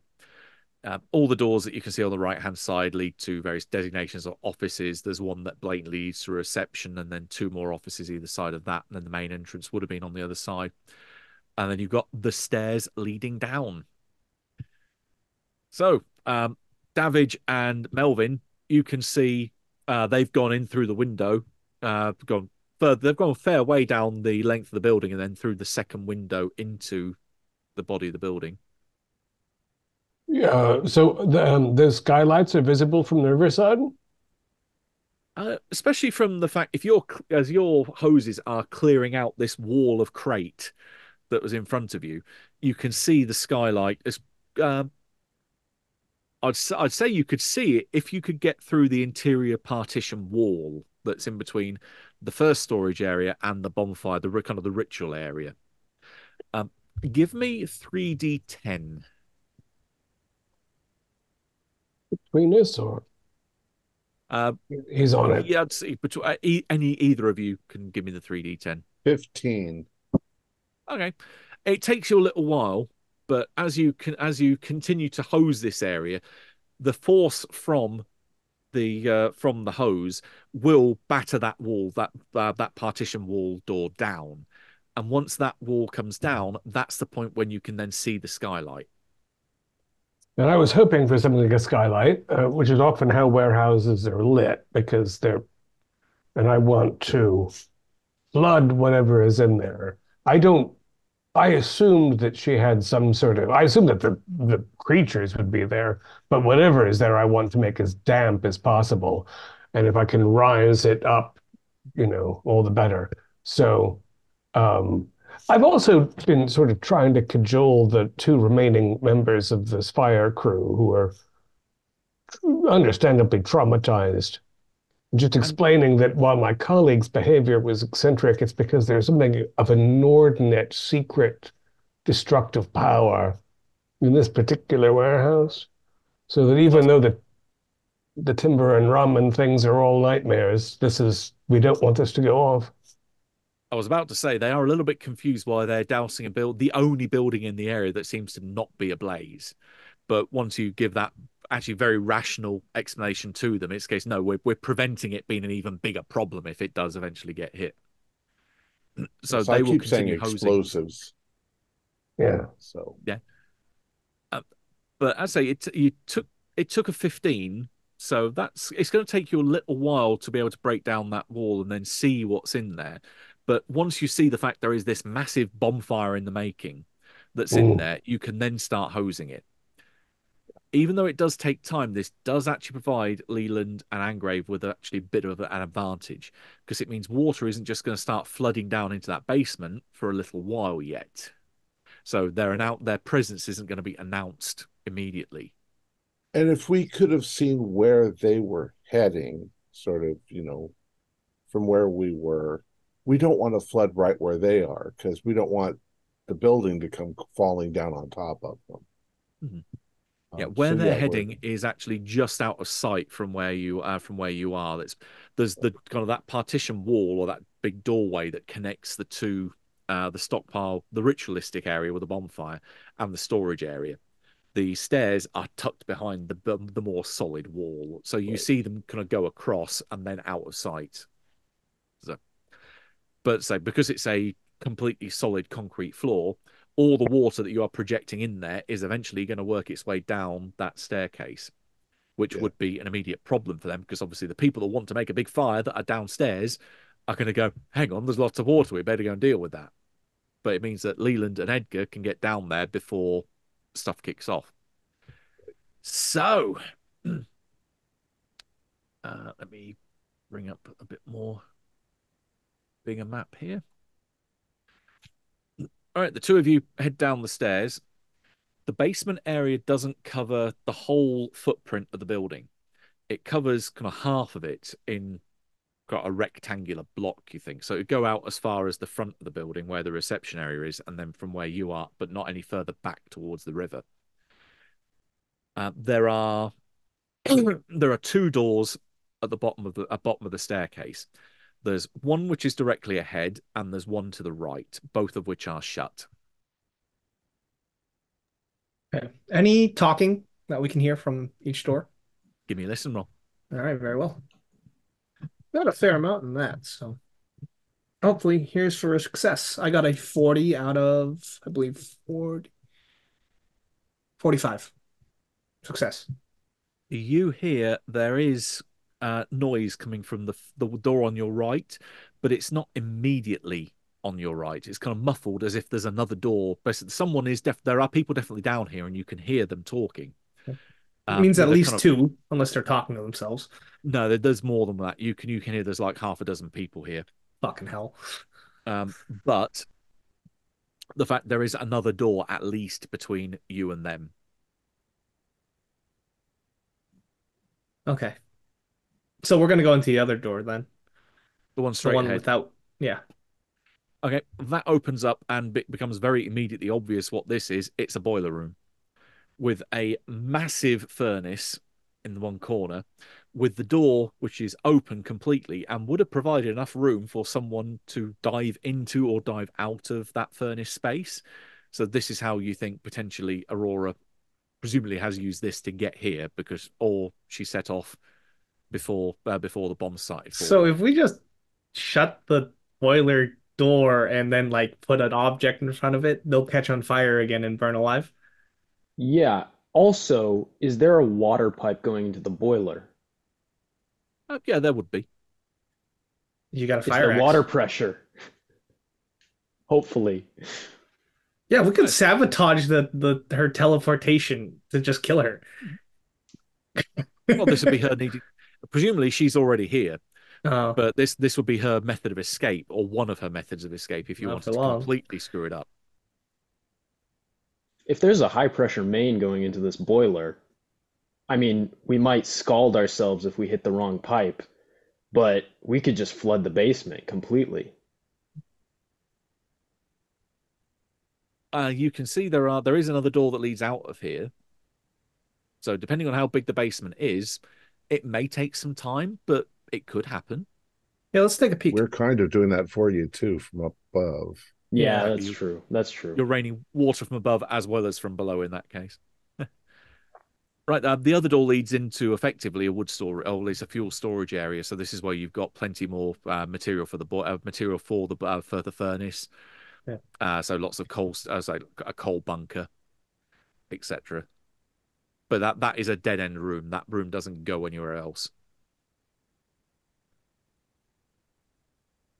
Okay, so she might already be here. Um,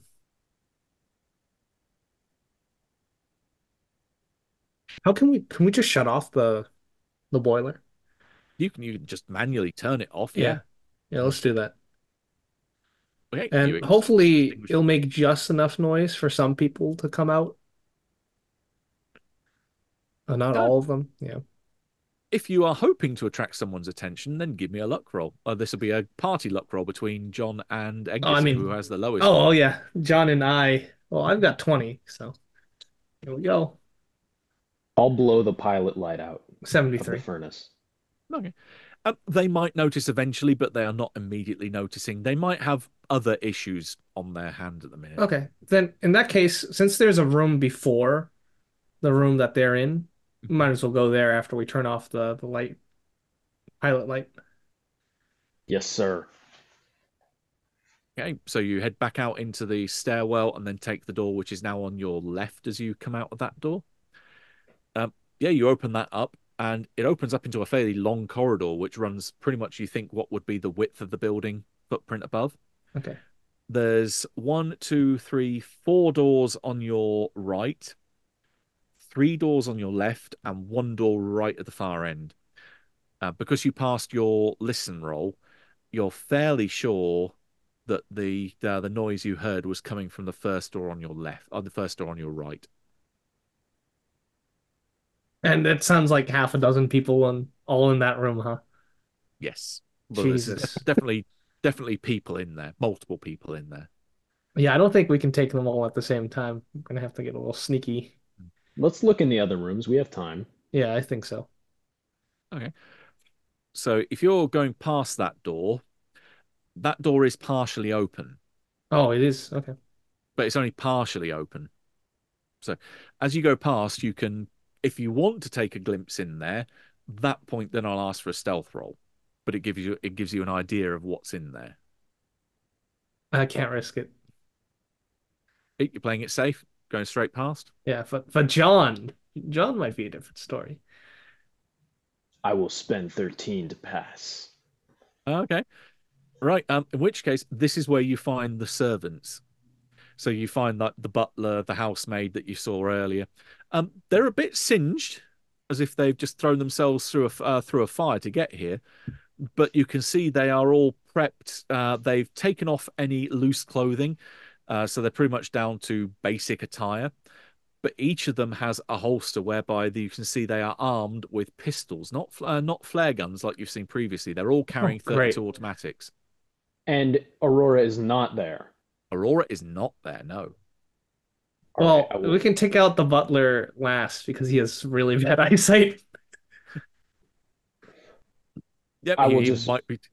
Go go. I'll just whisper to Engrave, Aurora is not in there. Okay, we got to keep moving. But yeah, to give 32 you a head count- automatics. Jesus. to give you a head count on who is in there, there are six people in there. Okay. Uh, there are one, two, uh, three male, uh, three male, three female. Right. The the next doors, in fact, all the other doors that are down here are all shut. So it depends on what you want to do with them. I mean, to be honest, right? Since you have a gun, John, you could spend some time aiming and just shoot one in the head, and then we can run up the stairs and just keep them there in the basement. And if they ever go up the stairs, they'll get hosed down with the water cannon. Effectively keeping keep away, like we're playing keep away from the giant pit, the bonfire pit on the first floor. That's true. The bonfire pit does seem like it's going to be the center of the whole deal. Yeah. I'm personally in favor of locating Aurora first, though, since we have free reign down here, at least for now. All right, very well. If we can see through the keyholes or anything, I don't know how old this building is. Yeah, let's, let's take a look. Okay. Well, um, they're I was- fairly modern, John. I was going to ask for listen checks, but. I will buy spot hidden if you're looking through keyholes. I'll I'll listen. Good, because John would not be a good boyfriend. He's a bad listener. All Oh, right, six. pass. Pass the spot hidden. So that is a Right, so spot Nine. hidden. You are specifically looking. Right. Uh, you will see her then when you get to a particular door. But I now need to see if you need to make another SAN check because I don't think you've seen a proto fire vampire yet. Let's have a look. Yes. Oh boy. yeah, proto fire vampires are a separate be- a separate entity. So, um, in fact, did Edgar pass a spot hidden or I passed the listen. he passed the listen roll? Okay. Okay.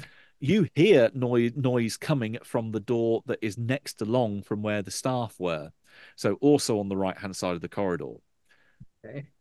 So if you're if you kind of gesture towards John to say that way, John then goes and has a look in the keyhole. Yep. John, can you give me a sanity roll, please? Perfect. My san is is pretty depleted. Oh, 44 out of 45.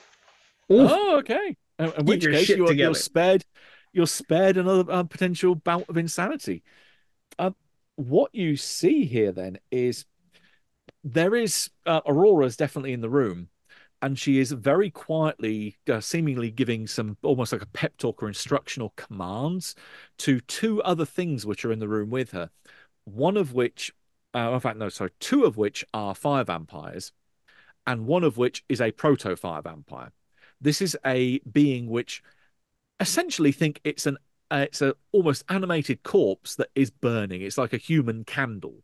It's like the human torch, but it's been very quickly eroded in front of your eyes to the point where all that's been the, all that's left over time will just be flame that is completely consuming this thing.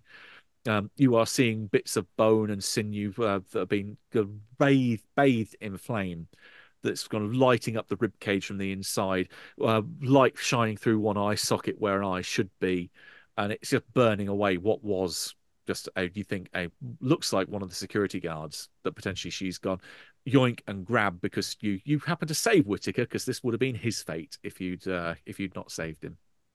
I'm just gonna. Yep, and because you pass your sanity roll, I won't have it as an involuntary action where you effectively alert them to your presence, so you remain hidden outside. All right, Engrave. Perhaps uh, it would be a better idea to keep them bottled down there. Right.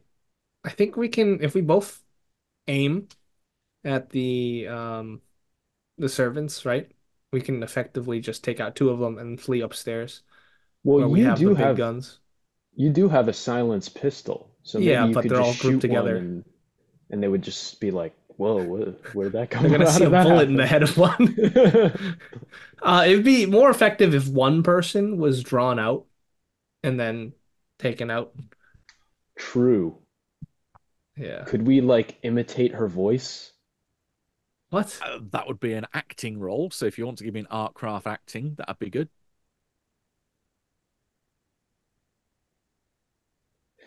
I'm gonna That's- I see do a it. Massive five percent here. No I'm gonna way. do it. All right, That's if he's gonna that's do it, I'm gonna hide behind some cover and get ready to take a shot. Okay, and there's a few different places. Well, the only real oh. places to hide here would be to open another door and then st- basically use the doorway as cover. So kind of leaning around the edge of the door frame. I can't So lean you- out from the stairwell. Yeah, that's you can go back to the stairwell and do that, or you Yeah. can go to one of the other doors because th- there is a door that goes out to the stairwell, which is kind of encompassed in my statement of leaning around the door. Okay, yeah, well, I'll just do that. I don't want to open up another room of horrors. There's no sound coming from any other room, but still fair comment. So- Yeah. Right, All right, you, so can, I- you can head back. You can head back to the stairwell, the door with the stairwell, and keep that open. I rolled a 20, but I've been No building way. up I've been building up luck refreshes for a little while, so I'm Oh gonna my spend it God. down Okay, and this this is to to try to lure. I'm, I mean, I- what was the name of the guy that we saw? It was like a oh Miles. Brown Miles. Miles. I'm gonna say, Miles, can you co can you come out here for a second? Okay, so you're, you're making your uh, success. You're making your successful art craft acting roll. okay. Uh, may, maybe his hearing isn't as great as his eyesight. So, and you, you already know how good his eyesight is. Um, he comes out into the uh, into the corridor then, and he starts heading towards the room that that holds the the gang of them next door, I'm gonna shoot him in the head. and then just go "Woof," with Yep. your uh, silence Well. Rod. I, I will give you a bonus die on this for being Okay. pretty much point blank because he comes through the door. Sounds good. Nine. Mo- oh, that's a 19 already. So. oh, geez. Uh, 19 and then a 69. Nice. Again, Lex would be happy. Yeah, he would. Right, uh, Uh, 19 is what degree of success? 19 is a hard, but I'll spend I'll spend the nine to get to the impale. extreme. Yeah. Okay. So that's uh D8 plus eight. D8 plus 8, yes. There's a good chance he might survive. Uh, nope, not if I rolled an eight. I am pretty certain that none of them have 16 hit points. Let So- As he goes down, one in the forehead, you catch his body, John, before it hits with a thud. I'm gonna do a SAN roll. Hmm. That's horrible. In fact, I'm going to say you're splattered with part of the butler's brains. Okay, I failed the SAN roll, unsurprisingly. Okay, on, at that point, I'm going to say that you do have that involuntary action that you do Oh, no. gasp and make a noise, which will attract Aurora from the uh, from the room that she's in. Uh-oh. Uh, So- take his 32 automatic. Okay, I'm dual wield. I'm tri wielding with the axe. Right? Um, she opens the door Shoot her, please. and the, sees the fact there is the butler dead right in front, uh, right in front of her, leaps leaps backwards and just screams this command of. And I think at this point we'll head into combat, or at least proper initiative. Anyway, let's have a look at. Ah, we gotta get upstairs. You've both got readied weapons. Yep. So that will put you on at least plus 50 of where you are.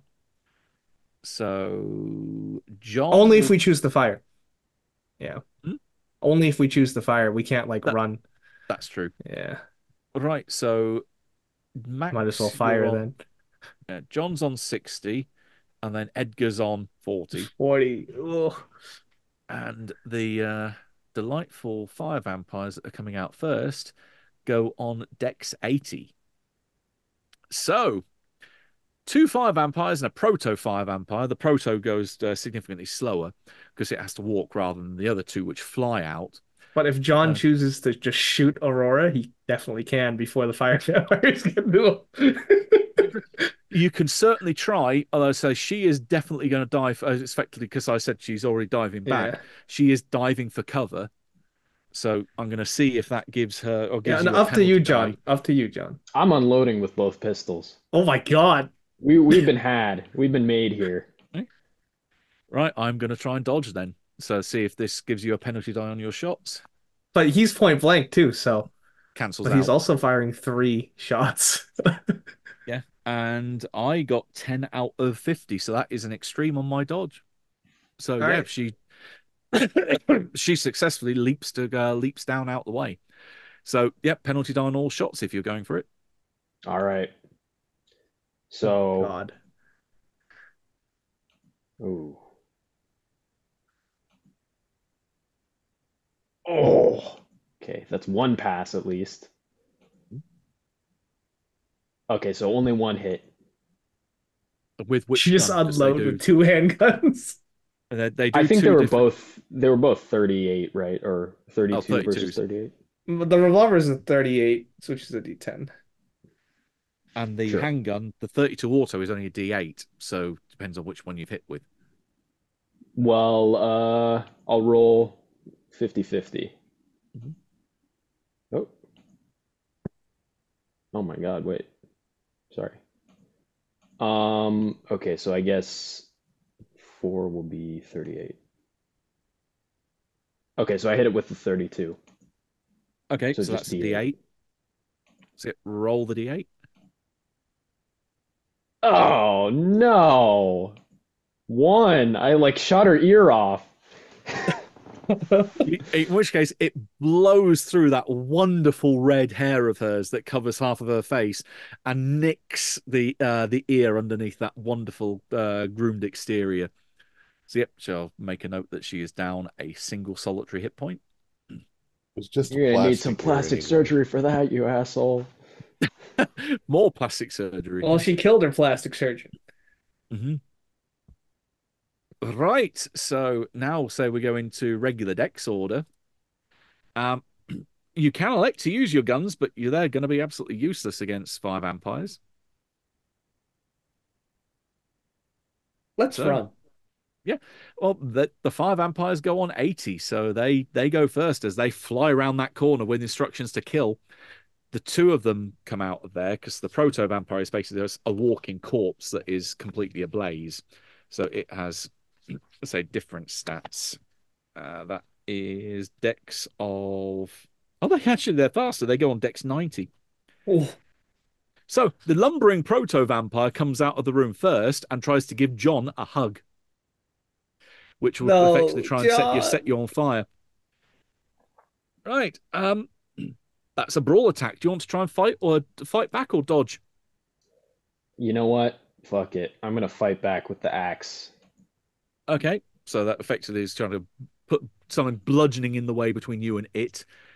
You have to get a better degree of success. Oh. No, that's already fail. Right. 10 is an extreme from me. So oh. that's Oh. max damage. That's 2d6 burn plus 1d4 damage bonus. It's Uh, over. that's it's over. twelve. I'm dead. 12, No, 13, 14, John! 15, 16 damage as this thing bear hugs you into uh, into oblivion. Ah! Yeah, you are you go up like a Roman candle and it just continues to hold you. Uh, Edgar, do you want to give me a SAN check for seeing uh, I'd poor to. John suddenly uh, suddenly meet his uh, meet his end? his fiery demise. I failed. I um, I'll only put one on it, but that's enough to give you a poten- Yeah. that's enough to give you a bout. So you so you now go stomach start raving crazy. All right, what do I get? Uh, uh, my brain has suddenly gone. I've completely just look up the character names all the time. Uh, Thom, you've got the chart there, yes? You're also muted.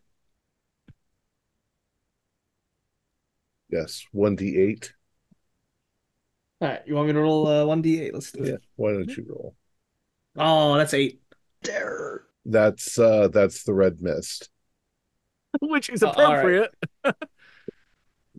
Right. So, Um, uh, for for one d ten turns. 1d10 rounds? All right. Uh, oof, two. You're going all out crazy for two turns, trying to kill uh, trying to kill everything. But the uh, the two valid targets at the minute are two fire vampires. Well, would I be in my mind enough to know that they're to kill them is to need water?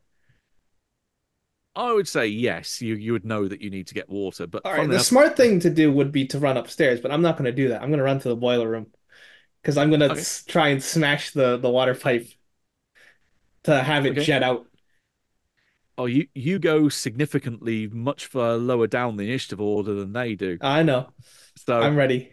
Yeah, they're both going to fly at you. They're all they need to do is touch you. So that is. Oh boy. Do you want to? I'm, I was going to say, do you want to dodge or fight back? Fighting back is not really a good idea. Yeah, I'll, I'll dodge. Um, I'm hoping for the Matt Sanderson luck. I've I've been rolling pretty good. That was like two tens in a row Oh, uh, in a row for that, and I do have a fighting skill of 85. So Okay. okay, what degree of success have you got, if any? Uh, all right. I've got a hard. Uh, 36 out of 55. I can spend down to a hard. I can spend six plus three, nine, which leaves me at two luck. Okay, so that's the first one. Yep. They only get one attack around. That's your saving grace. The next one will get a bonus die because you fought uh, because you've dodged them around, so it gets so it gets outnumbering. Oh, this is this there. is looking real bad. Bonus die on an 85. Again, do you want to try and dodge this one? I think so.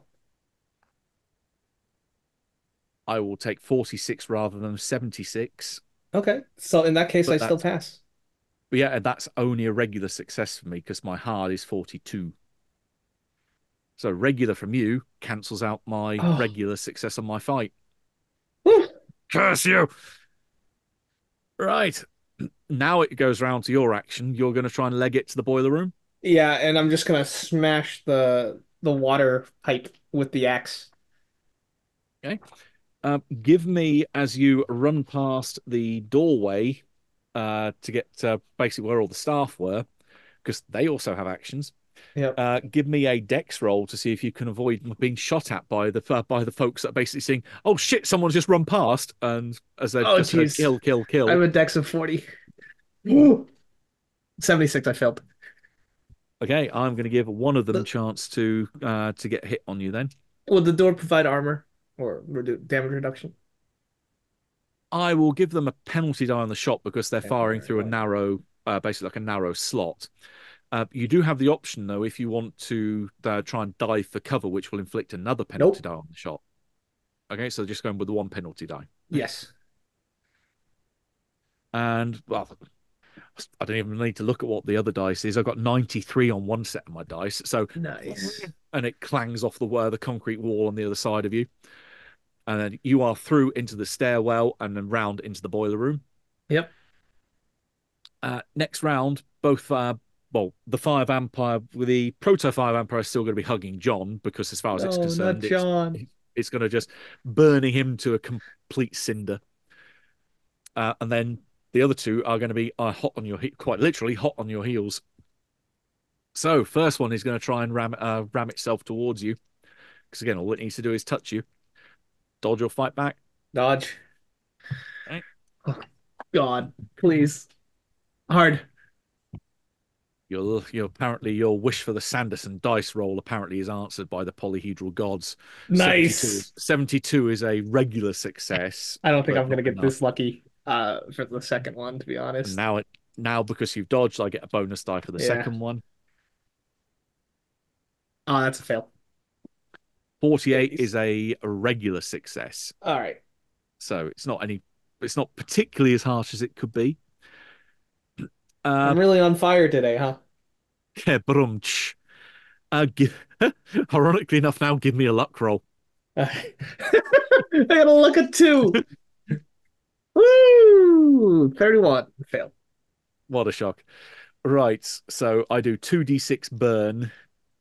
So that is 9 on the fir- on the burn. I gotta roll then- con.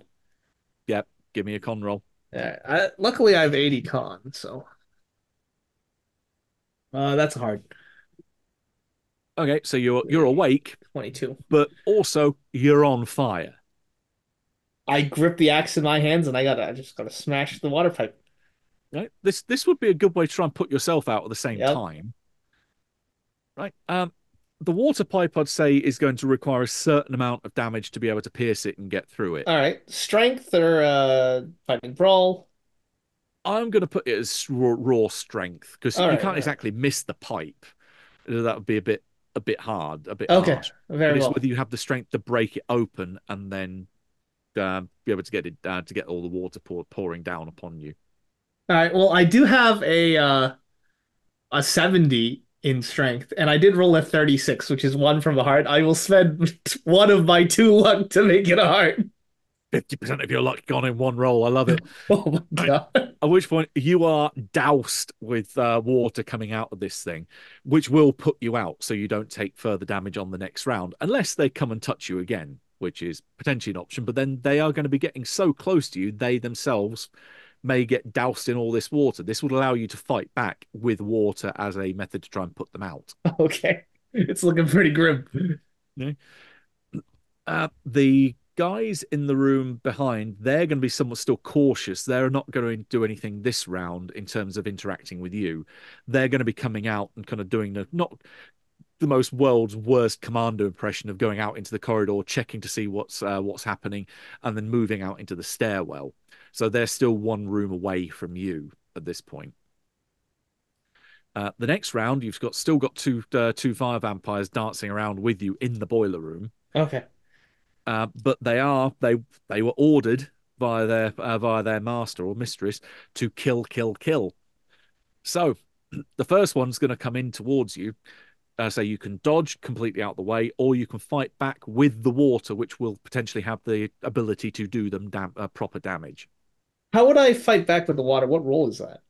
You're, you're effectively splashing around. You're basically throwing yourself around under this broken Hmm. uh, broken water pipe, just uh, almost like interpretive dance, you could say.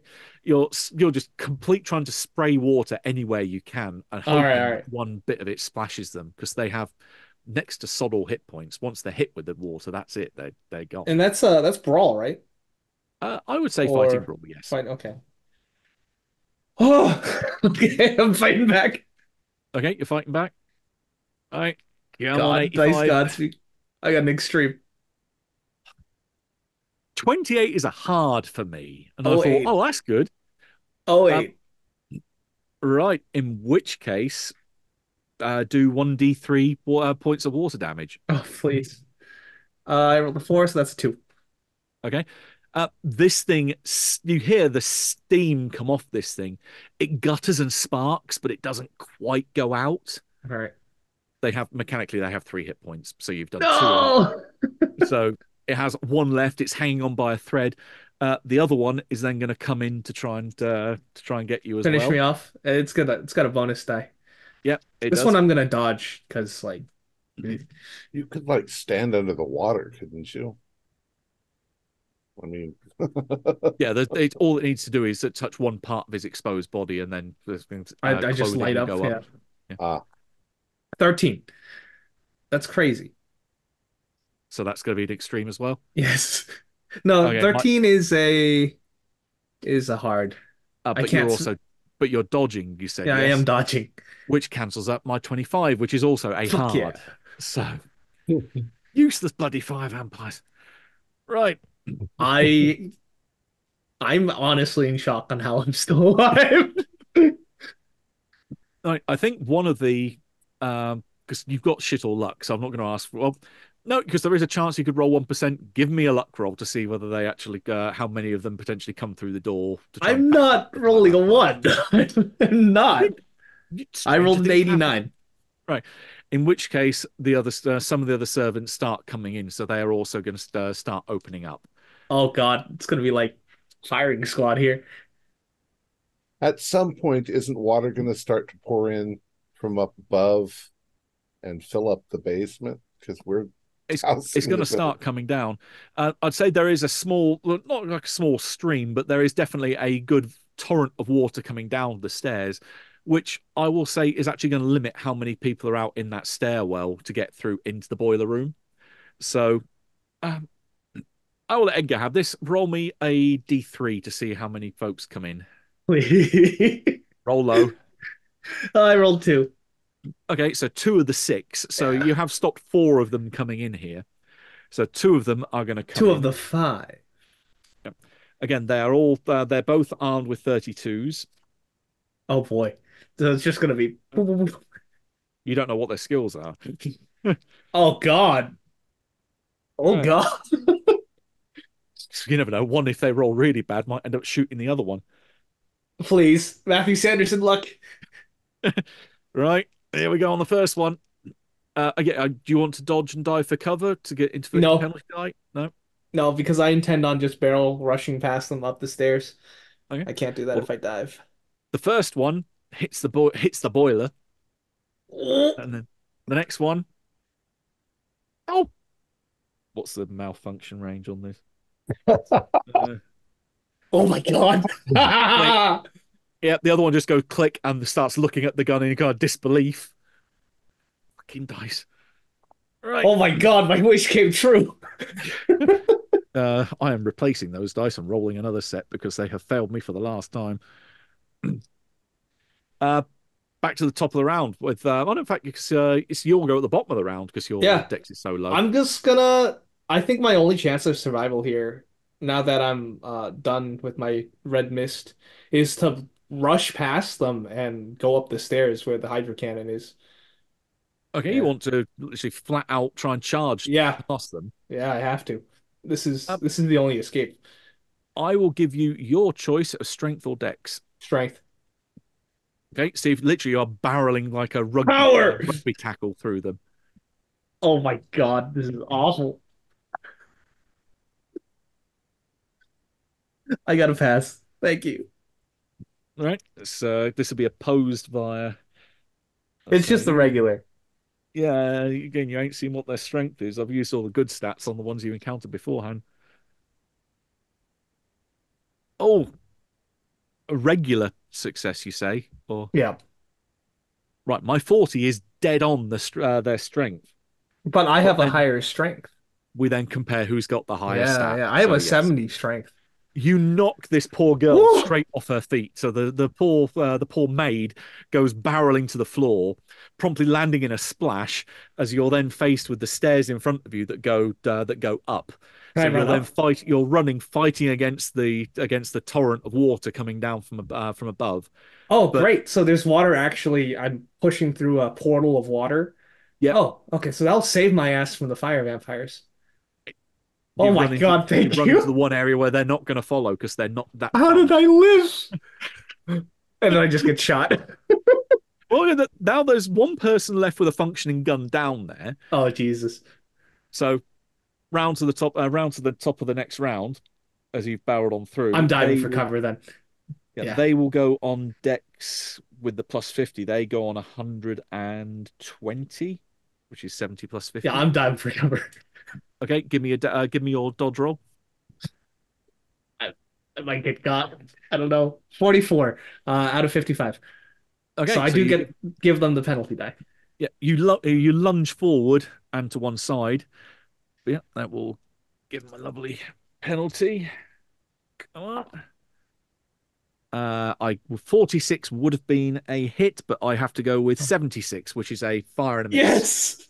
So, so blam. There you go. Uh, that's another shot that goes wild. This is insane. That that does sacrifice your action, though, I believe, for Yeah. diving for cover. Yeah. So you've landed feet uh, feet first. The best I'll say is you're able to get on your feet. You're about halfway up the staircase, fighting against this torrent of water coming down. Uh, behind you, there are the two fire vampires lingering in the doorway. At the top of the doorway, because they're not going forward into that spray, and there are going to be sounds of the other um, staff coming from behind you, coming to try and get into that doorway. But again, they're now rushing against a torrent of water. I'm, I'm going to give one of them can potentially get shot off at you. Ah, this is where your luck might have run out. Uh, I got a four, which is under my impact. I get impaled. Or was that um does the diving for cover also cover this as well? Oh no, good point. That Right. is- that- you do get a penalty die for that as well. So pray that I don't roll another zero. Ah, I, I did roll another zero. Oh, okay. My luck's ran out. That's it. Oh, Right. Uh, well, again, I might roll pretty because it's only a D8. I might roll pretty. No, I'm dead. the it impales and impales and pale. Uh, yeah, that's fourteen. Yeah, I'm I'm fucked. Oh. Blam. Um, Davidge and Melvin, you hear a barrage of well, they- you hear the pum pum pum pum pum pum sound of gunfire from downstairs, and then Yeah, I don't every, I don't think they're alive. I've just turned the cannon right to where I think the door to the basement is. right, um, you are up. aiming you're aiming round a corner effectively so i'm going to put a penalty die on your uh, your action down here Okay. uh melvin do you want to do the same with the other cannon or are you li- uh, leaving it to one of the other firemen to do this Uh, no, I, I, I'm trying to douse the, the great big Christmas cracker they've set up. I want to make that, Look- I want to break it apart with the cannon as much as possible and make all the components as wet as possible. you're scattering it as far and wide as you can okay Yeah. uh, that will be focusing one uh, hose entirely on that so then that's going to be scattered all over the inside of the wa- uh, that part of the warehouse uh Davidge, if you give me a firearms rifle shotgun roll, I'm going to put a penalty die on it because you're trying to effectively aim round a corner. You know roughly where it is, but you've got no direct line of uh, line of sight on it. Um, Okay. You'll still be able to get some water going down there because there's already that torrent that helped I'm out flooding Edgar for a the little bit. floor. Yeah. Yeah. But if you get a success, you're going to have a full torrent, a full directly full beam, uh, full hose of water going down there. Okay. And I'm I'm sorry. I'm rolling. Firearms, rifle, shotgun with a penalty die. Rifle, shotgun. I got a 25. Let's see how I do with a penalty die. Uh, 90. I've already failed. Okay, so water is going to be going down there, but it's not enough to prevent them from coming up the stairs. Okay. a few rounds later, after the gunfire stops, you see a few a few people come, at least a few figures coming into view. They're not Edgar or John. Uh, they seem to be wearing uh, regular clo- a regular clothing of like house staff, although you can see they have holsters for weaponry. Uh, they're going to take up position, uh, trying to take pot shots at you. Okay. When I'll immediately they shoot right at them. Okay, so this this is a shoot off. They they brought uh, handguns to a fight, and you brought a high um, a high pressure water hose to a fight. Water cannon. Yeah. Right. Um, Which also makes the floor slippery, hopefully. it does. Yeah, so that there's going to be disadvantages on both sides. Uh, stat block. Uh,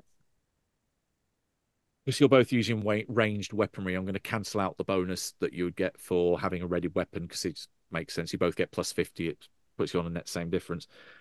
Uh, what is your dex? My dex is 55. I, they're on 65.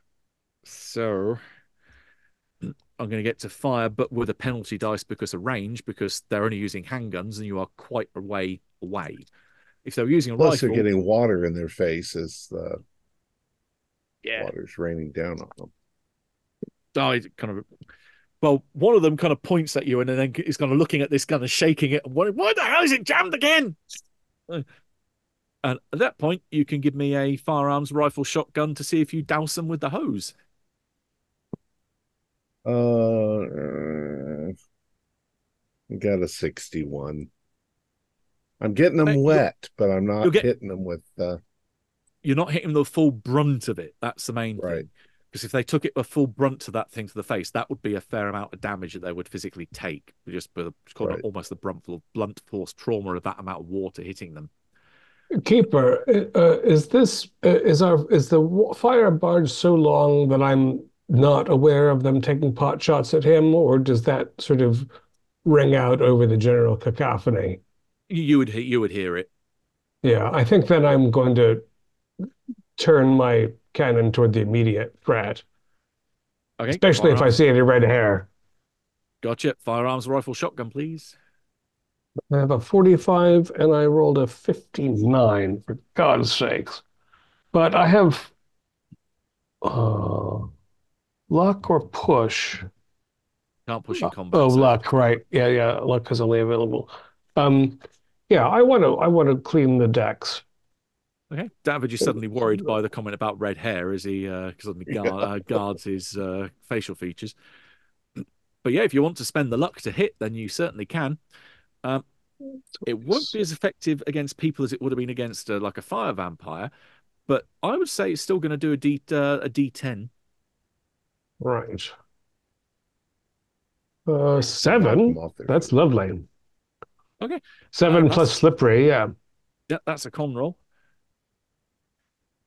Oh, one of them goes down, and there's a. You maybe even hear the crack of the, uh, maybe the skull as they go down. There's a very definite thud, and they just don't move as they get washed, maybe washed back into the pile of uh, now scattered bonfire that you have up there. That's gratifying. Right. Uh, next round, I think you're going to get to see a, a woman in red hair. She pops her pops her head out to uh, suddenly go absolutely ballistic as she realizes that her bonfire has been completely soddened. and above the ra- above the raging uh, the roaring water, you maybe don't hear what she calls, but she definitely looks like she yells something back over her shoulder. And two sparks fly up in an arc out from above and start to dis, uh, start to pair off, split left and right, and then start to dive down towards the boat. Yes, And this is a sense, a self-defense sort of spiral. Yeah, they don't they are say- not. Yeah, they're not being crazy enough to go uh, to go straight into the path of the path of the, the jets of water, but this does give you a chance to try and use the hoses to try and put out the fire vampires before they get to you. You have two disadvantage dice though, uh, two penalty die, because they move very quickly and they are very small. Uh, mechanically, they are size one out of a hundred. They have flying move of 11. So, yeah, you are at two penalty die on firearms, rifle, shotgun to try and hit them. Uh, is there a way we can make the water spray? You know, like uh, instead of a, a stream, a, a spray. Uh, this is a, being a fire fairly high power hose, it's already got a degree of area of effect anyway. Okay, And all you need to do is get a success. I'm not going to have you roll 3d10 damage against something that's got three hit points. all we have got have are we? We just need to get one failure, right? And then we're failed. Yeah, because it's a penalty die. So it's yeah, you go I'm, over. I failed. My first roll was 87, so we are right? They, uh, they SOL. descend. Yeah, they descend onto both ends of the ship. So we've got one each come one coming at each of you. So uh, would you like to try and dodge or fight back? well, the closer they are, the wet this as wet as this thing is. I mean, they have to get out, they have to get to my body, and I've got this giant Right, nozzle. I'm going they're to moving very fast. fight back. They're fast. Okay, I'm going to are- try and. Go. I was just going to say I'm going to try to turn very quickly towards where the spark is, uh, and douse it. Okay, I would give you because Smitty they still do move quick, but they are still small. But this is an area, an area, effectively an area effect weapon when you're right up close and personal with it. Uh, I will give you your choice of firearms, rifle, shotgun, or fighting brawl, with a bonus die to try and hit it. The bonus die It's will cancel out. You know, will cancel out the fact it's such a uh, small target. It's the same either way. Okay, so uh, my fighting brawl versus uh, well, my fighting roll versus your roll. My my dice went off the table. Sorry. I have only Ooh. I got 25, which is exactly a hard. I mean a regular. Said you want to make it hard because at the minute I'm on a regular success. Not with two luck. I've only got two luck. Ah, it's gonna be a hit then. How about Melvin? Can I do a Can I push it? Not in combat. yeah, yeah. Uh, all right. How Uh, did- oh, I have a regular success only also, but I don't I have not spent all my luck yet, so I will regular because you need to fight back. You need to get a better degree of success. 94 is a fail from me, so your regular is one degree of success better. ah. You 3d10 base for doing uh, for this kind of uh, degree of water against one, a one. vampire target you obliterate the fire vampire that comes at you. It just immediately blinks out of existence as a spray a waft of spray hits it. But the one on Davidge it does hit Davidge uh, because you are admittedly by such a water I'm going to give you a certain amount of armor a bit like what uh, what we have with Agga, because you, you are completely not completely drenched in water, but Right. it will help. So, two d six plus burn. I probably also might fall into the Thames. I'm going to eliminate the burn part of this because once you are completely drenched, I'm going to say you, you're not going to go on fire. And yeah, my dice are not doing so well on damage. Five total. Okay, for- that's for five out of five out of nine. So that is definitely a little bit more than half. Give me a con roll. On.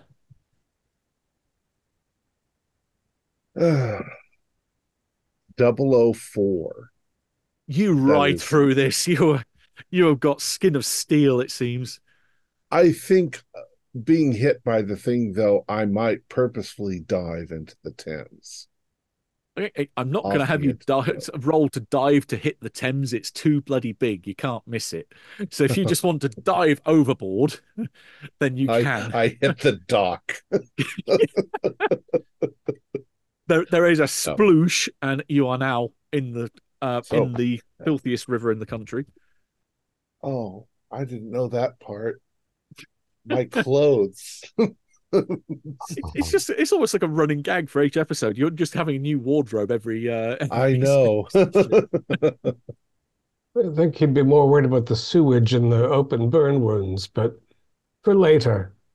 Yeah, that, is, that's a tomorrow problem. Is the witch still yelling on the dock? Uh, you can see she is still there. Now you've got a choice because the fire vampire that went on Davidge has only got one other target now, besides right. the boat. But so it's it's going to turn its attention on you. And since or he went in the drink, I don't have to worry about knocking him off, which was a concern. Mm-hmm. Right. So, yeah, straight down along the uh, fireboat from one end to the other. Okay. Any, any chance one of the other firemen could just stomp on the fire vampire? well, more, more likely they stomp on it and they probably go up in flames as well. Yeah.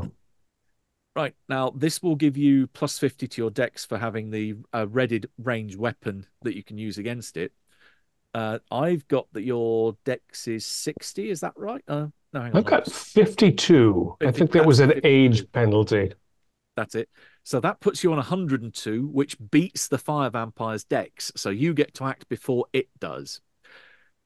You've still got the two penalty die for it being small and for it being so fast moving. So roll firearms, rifle, shotgun.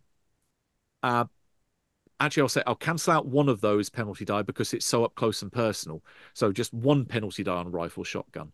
The first was beautiful,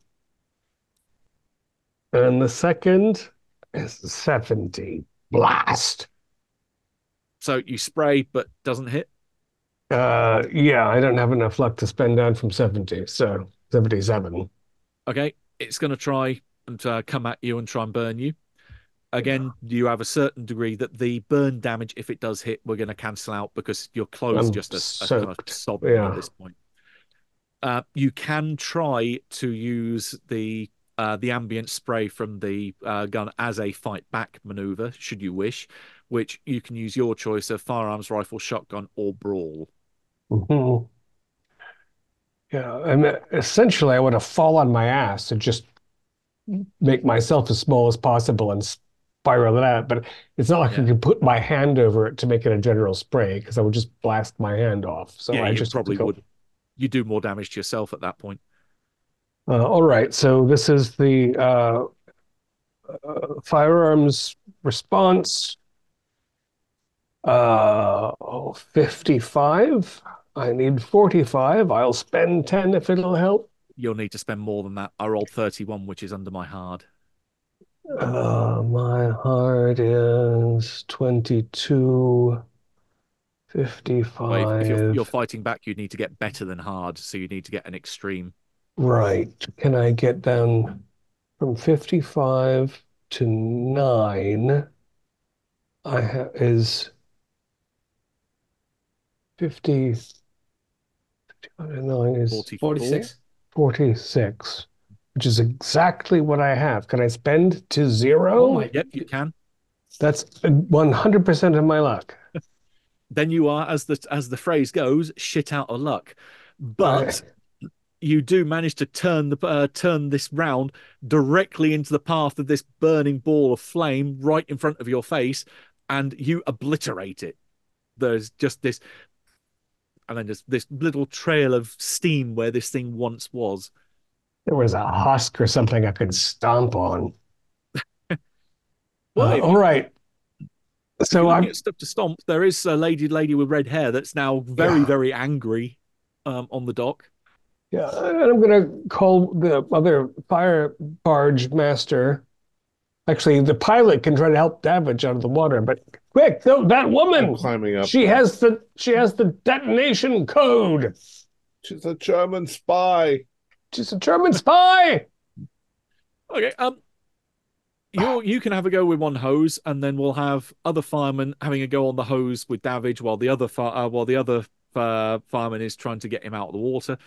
So roll twice, uh, once with your firearms, rifle, shotgun skill, and once with the uh, the fireman's. They're going to have a skill of forty.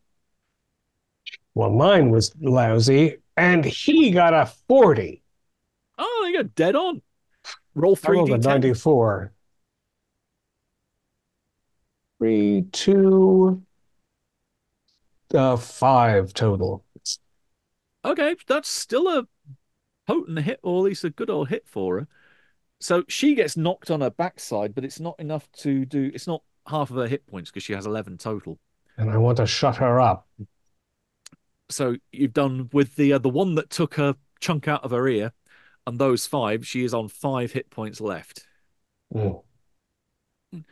Uh, there is going to be a barrage of, well, barrage, at least a volley of gunfire coming from the other servants, which are now up above.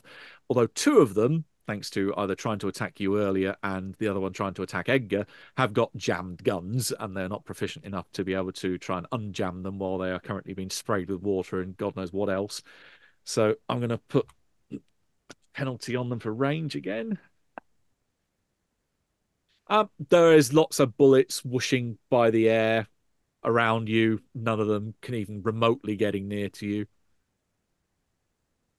Only they do not know how to shoot these things. If there were flare guns, maybe they might have a better better time of it. But nope, nothing is uh, nothing is happening from them. Uh, David, you can be out of the water. Uh, this turn. Deus ex machina. Ah! the, the most vile of spells. Uh, you Um, gonna try and hit with the hose again? Yes, absolutely. Uh, yeah, I'll grab the other hose quickly and and this time I'm going to get down on the knee and brace myself so that I can aim better. Okay. Uh, 37 is a regular only. 17. What what is it? Oh, my bro um Rifle or shotgun if it's better. just regular, just regular. Oh, regular's regular's fine. It's still a, a it's still in a range attack roll. Give me three d10 each. Oh, now we've got it. Nine. Oh, 13 just for me. Six. Eleven. You between this, I'm going to say this because this is an area effect. You are pummeling all the members of staff with this very intense beam of water. You see the spray ends up going everywhere, but after a minute, when you realise nothing's moving down there, you've maybe turned the beam uh, beam of jet of water away, and you just have this this scattered pile of bodies laying there, and everything is rather still. At which point you've got a couple of very uh, very tentatively uh, sort of nervous fireman coming up, uh, tapping on the shoulder and going, "Did did we get them? Is is it over?" You have a It is- gaff. Uh, I asked. They have fire a gaff. axes still. Yeah, Uh, yeah, they have fire axes. I think I have to run up there to make sure that they're not still alive because they have guns. Ah, how engrave of you. yeah. he learned from the best. Well, what can you say? Good job you did I'm go over to also check them because filthy. all, yeah, 'cause all you've done is basically knock them on their ass. They are Right. they are still there. They're not dead, but they are kind of battered and bruised, of which you do also have, say, a very red-headed uh, woman with this remarkably stellar, stone-like skin face, looking up at you with this degree of just burning hatred on her face. Can I uh, What chop her head off? There is a resounding thunk as her head is taken from her body, and you can definitely give me a SAN check for cold-blooded murder there. Yeah, I I don't pass my SAN check, but that's funny. I, I'm gonna, I'm gonna, oh, I don't have any luck at all. I gonna, be a zero. I was going to roll luck to see if I was busy comforting the boatman and didn't realize what had happened, but I'm afraid there's no way out of that. So What what sanity do I take? you, you knew that she was a threat. You know that there was definitely you are justified in doing so, but just even the act itself still has a bit of a hit. Uh, instead of the normal D6 for murder, I'll put it down to a D3. Okay. And for witnessing and failing? Oh, actually, I succeeded. Oh, if you succeeded, zero. I take three. So you, you, you can take 10 points of revulsion damage, but otherwise your sanity remains intact. And I am screaming mm-hmm. because I've had it. yeah. Uh, Davidge, um, I'll leave you here to break up the bomb components and I'll help the boatmen continue to fight the fires as long as I can stay up, if that's amenable. I I I don't know if I'm in my right mind at the moment. So uh do I need to kill all of these servants or I mean you she's can if dead. you want. Uh, they they aren't. None of them are dead from what you've done, but they're kind of on the border of being incapacitated. If you want to make sure, because you know a whole load of them have had uh, back, basically backed up on spells that they were taught by Aurora, if you want to make absolutely certain you're going to go around and kill every last one of them. Yeah, it's I the think Edgar thing to do. If I can grab a gun from one of them, then I'm going to stand over each one, put a bullet in them, like as if I was in the military, and I just had to do it. And I'll probably need a long respite at the sanitarium.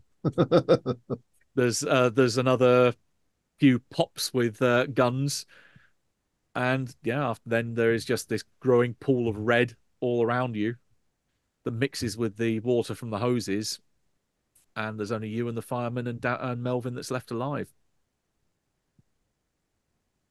We got to get the hell out of there because the city's on fire. I think we can uh, move forward a little bit in time now as a uh, as a wrap up. So, as was mentioned, the fact that this uh, lovely evening went down in infamy in history as being the first night of the Blitz. This is a night that Londoners around that time just do not forget. This is pun not intended, burned into their consciousness. That this began the a wave of what would be 57 consecutive nights of intense bombing, and is just a period of complete and utter horror for all involved. But as as the saying goes, it's keep calm and carry on. There is the uh, the wartime spirit that g- grows and prevails, where people just become so obstinate they kind of settle into a routine eventually, where they they just oh the, the air raid signs have started again, right? Time to get down to the bomb shelter for, again for the evening. They even have past sometimes parties down on the uh, the lower deep uh, the deep shelters on the underground, but that's for a little way in the future because there might be some other other things happening between now and the end of the the end of the blitz. But a couple of nights later, uh, you receive summons to go to. Uh, this is before the um, before the blackout, so before the sirens start for the evening. Um, you are requested to attend a certain bookstore, or at least the office above a bookstore, just off Trafalgar Square, where N and Fotheringay uh, meet you. They ask what happened with uh, your associates, uh, John and Edgar. Uh, you do have your other associate there, uh, Dr. Gross, who is uh, he's not in the meeting, but they do say that he's currently been uh, let's say looked after by some folks trying to put his head back together. He was in a bit of a state yeah. Uh, when you last left him. I need to look at your your men too, who can help me put my head back together. Yeah, we can um, we can provide some to provide some services there, the main reason why I wanted to uh, to call you is that you've to mainly thank you that you've done a, a spectacular job dealing with this problem. That, as you're aware, Aurora would have, or Miss Williams would have potentially caused a very significant threat to the well to the the city, maybe even to the rest of maybe even to the rest of the world. Uh, we have a number of problems like this that we've dealt with in the past, and I doubt this is going to be the last of them. We have a number of people that work under myself and report directly to me that are working to combat these threats both at home and abroad. Obviously, abroad is going to be for a very different branch of branch of folks. We're not going to ask you to suddenly jump on a plane and go commando in uh, enemy territory. But if you're if you're up for it and want to potentially stand on the line, literally draw a line in the sand against these things on the home front, then we'd like to offer you, say, membership and resources within our auxiliary network here. Can we say? think about it?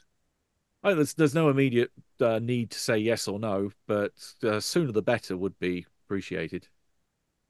Let me think about it. I need to relocate. I need to see if there's anything left of my estate.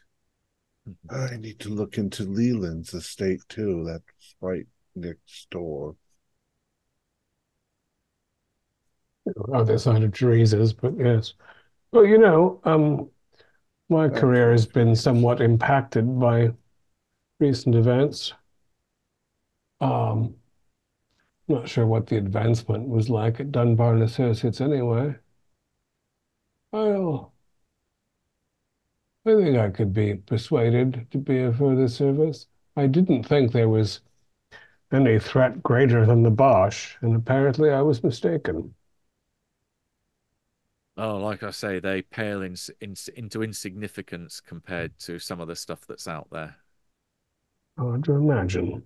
And uh, war has a very un unlikable habit of bringing all this stuff to the surface. Mm. Breaches in the normal function of life. Hmm yeah, just stir things up a bit. But yeah, if you're willing to willing to join us, we can give you a bit of a bit of a briefing on some of the things that you might uh, encounter out there, and hopefully be ready, ready in case something comes along next time. Well, may be willing. I just need to think about it for mm-hmm. a day Like I said, two. no, and like I said, don't. Uh, there is a war on after all. Don't uh, don't take too long but I'd be very appreciative if you said yes. And on that note, we'll leave it uh, dangling for a bit, but that brings us to an end to Midnight Sunrise. There we go. Wow. Well done. Right. Well, only two out of uh, two out of four, or two out of five technically, with uh, Doctor Gross uh, parting the ways there. Um, I don't know whether we want to leave it a bit before we jump into the uh, the next scenario or work out uh, what we're going to do with characters going forward. But that's uh, that's to say a good point to leave it for the minute. We'll we'll talk about that afterwards, and I'm sure there's nothing in this you want to reveal to us yet. So, oh, there's there's still stuff out there. So, oh yeah. All right, let's call it. Uh, our players included Max Meltzer, Josh Harwood, who will be back uh, Alex Sun, David Gasaway, and myself with Matthew Sanderson as the keeper of arcane lore. We have a Discord server where you can chat with other members. You can set up private games. You can learn the fine arts of gameplay and game mastering. We provide audio only versions of our shows free for you to download from Spotify, Podbean, or iTunes. Support for the show is provided by our patrons who are listed in the closing credits. If you would like to join them, please visit our Patreon page listed in the description or you can use Super Thanks by hitting the button just below the screen. Like, share, and subscribe to our channel and punch the bell icon for updates on our latest shows. And leave us some comments. We enjoy reading them and answer any questions you might have.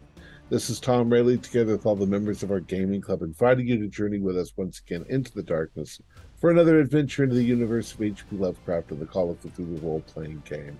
Until next time, good luck, good gaming.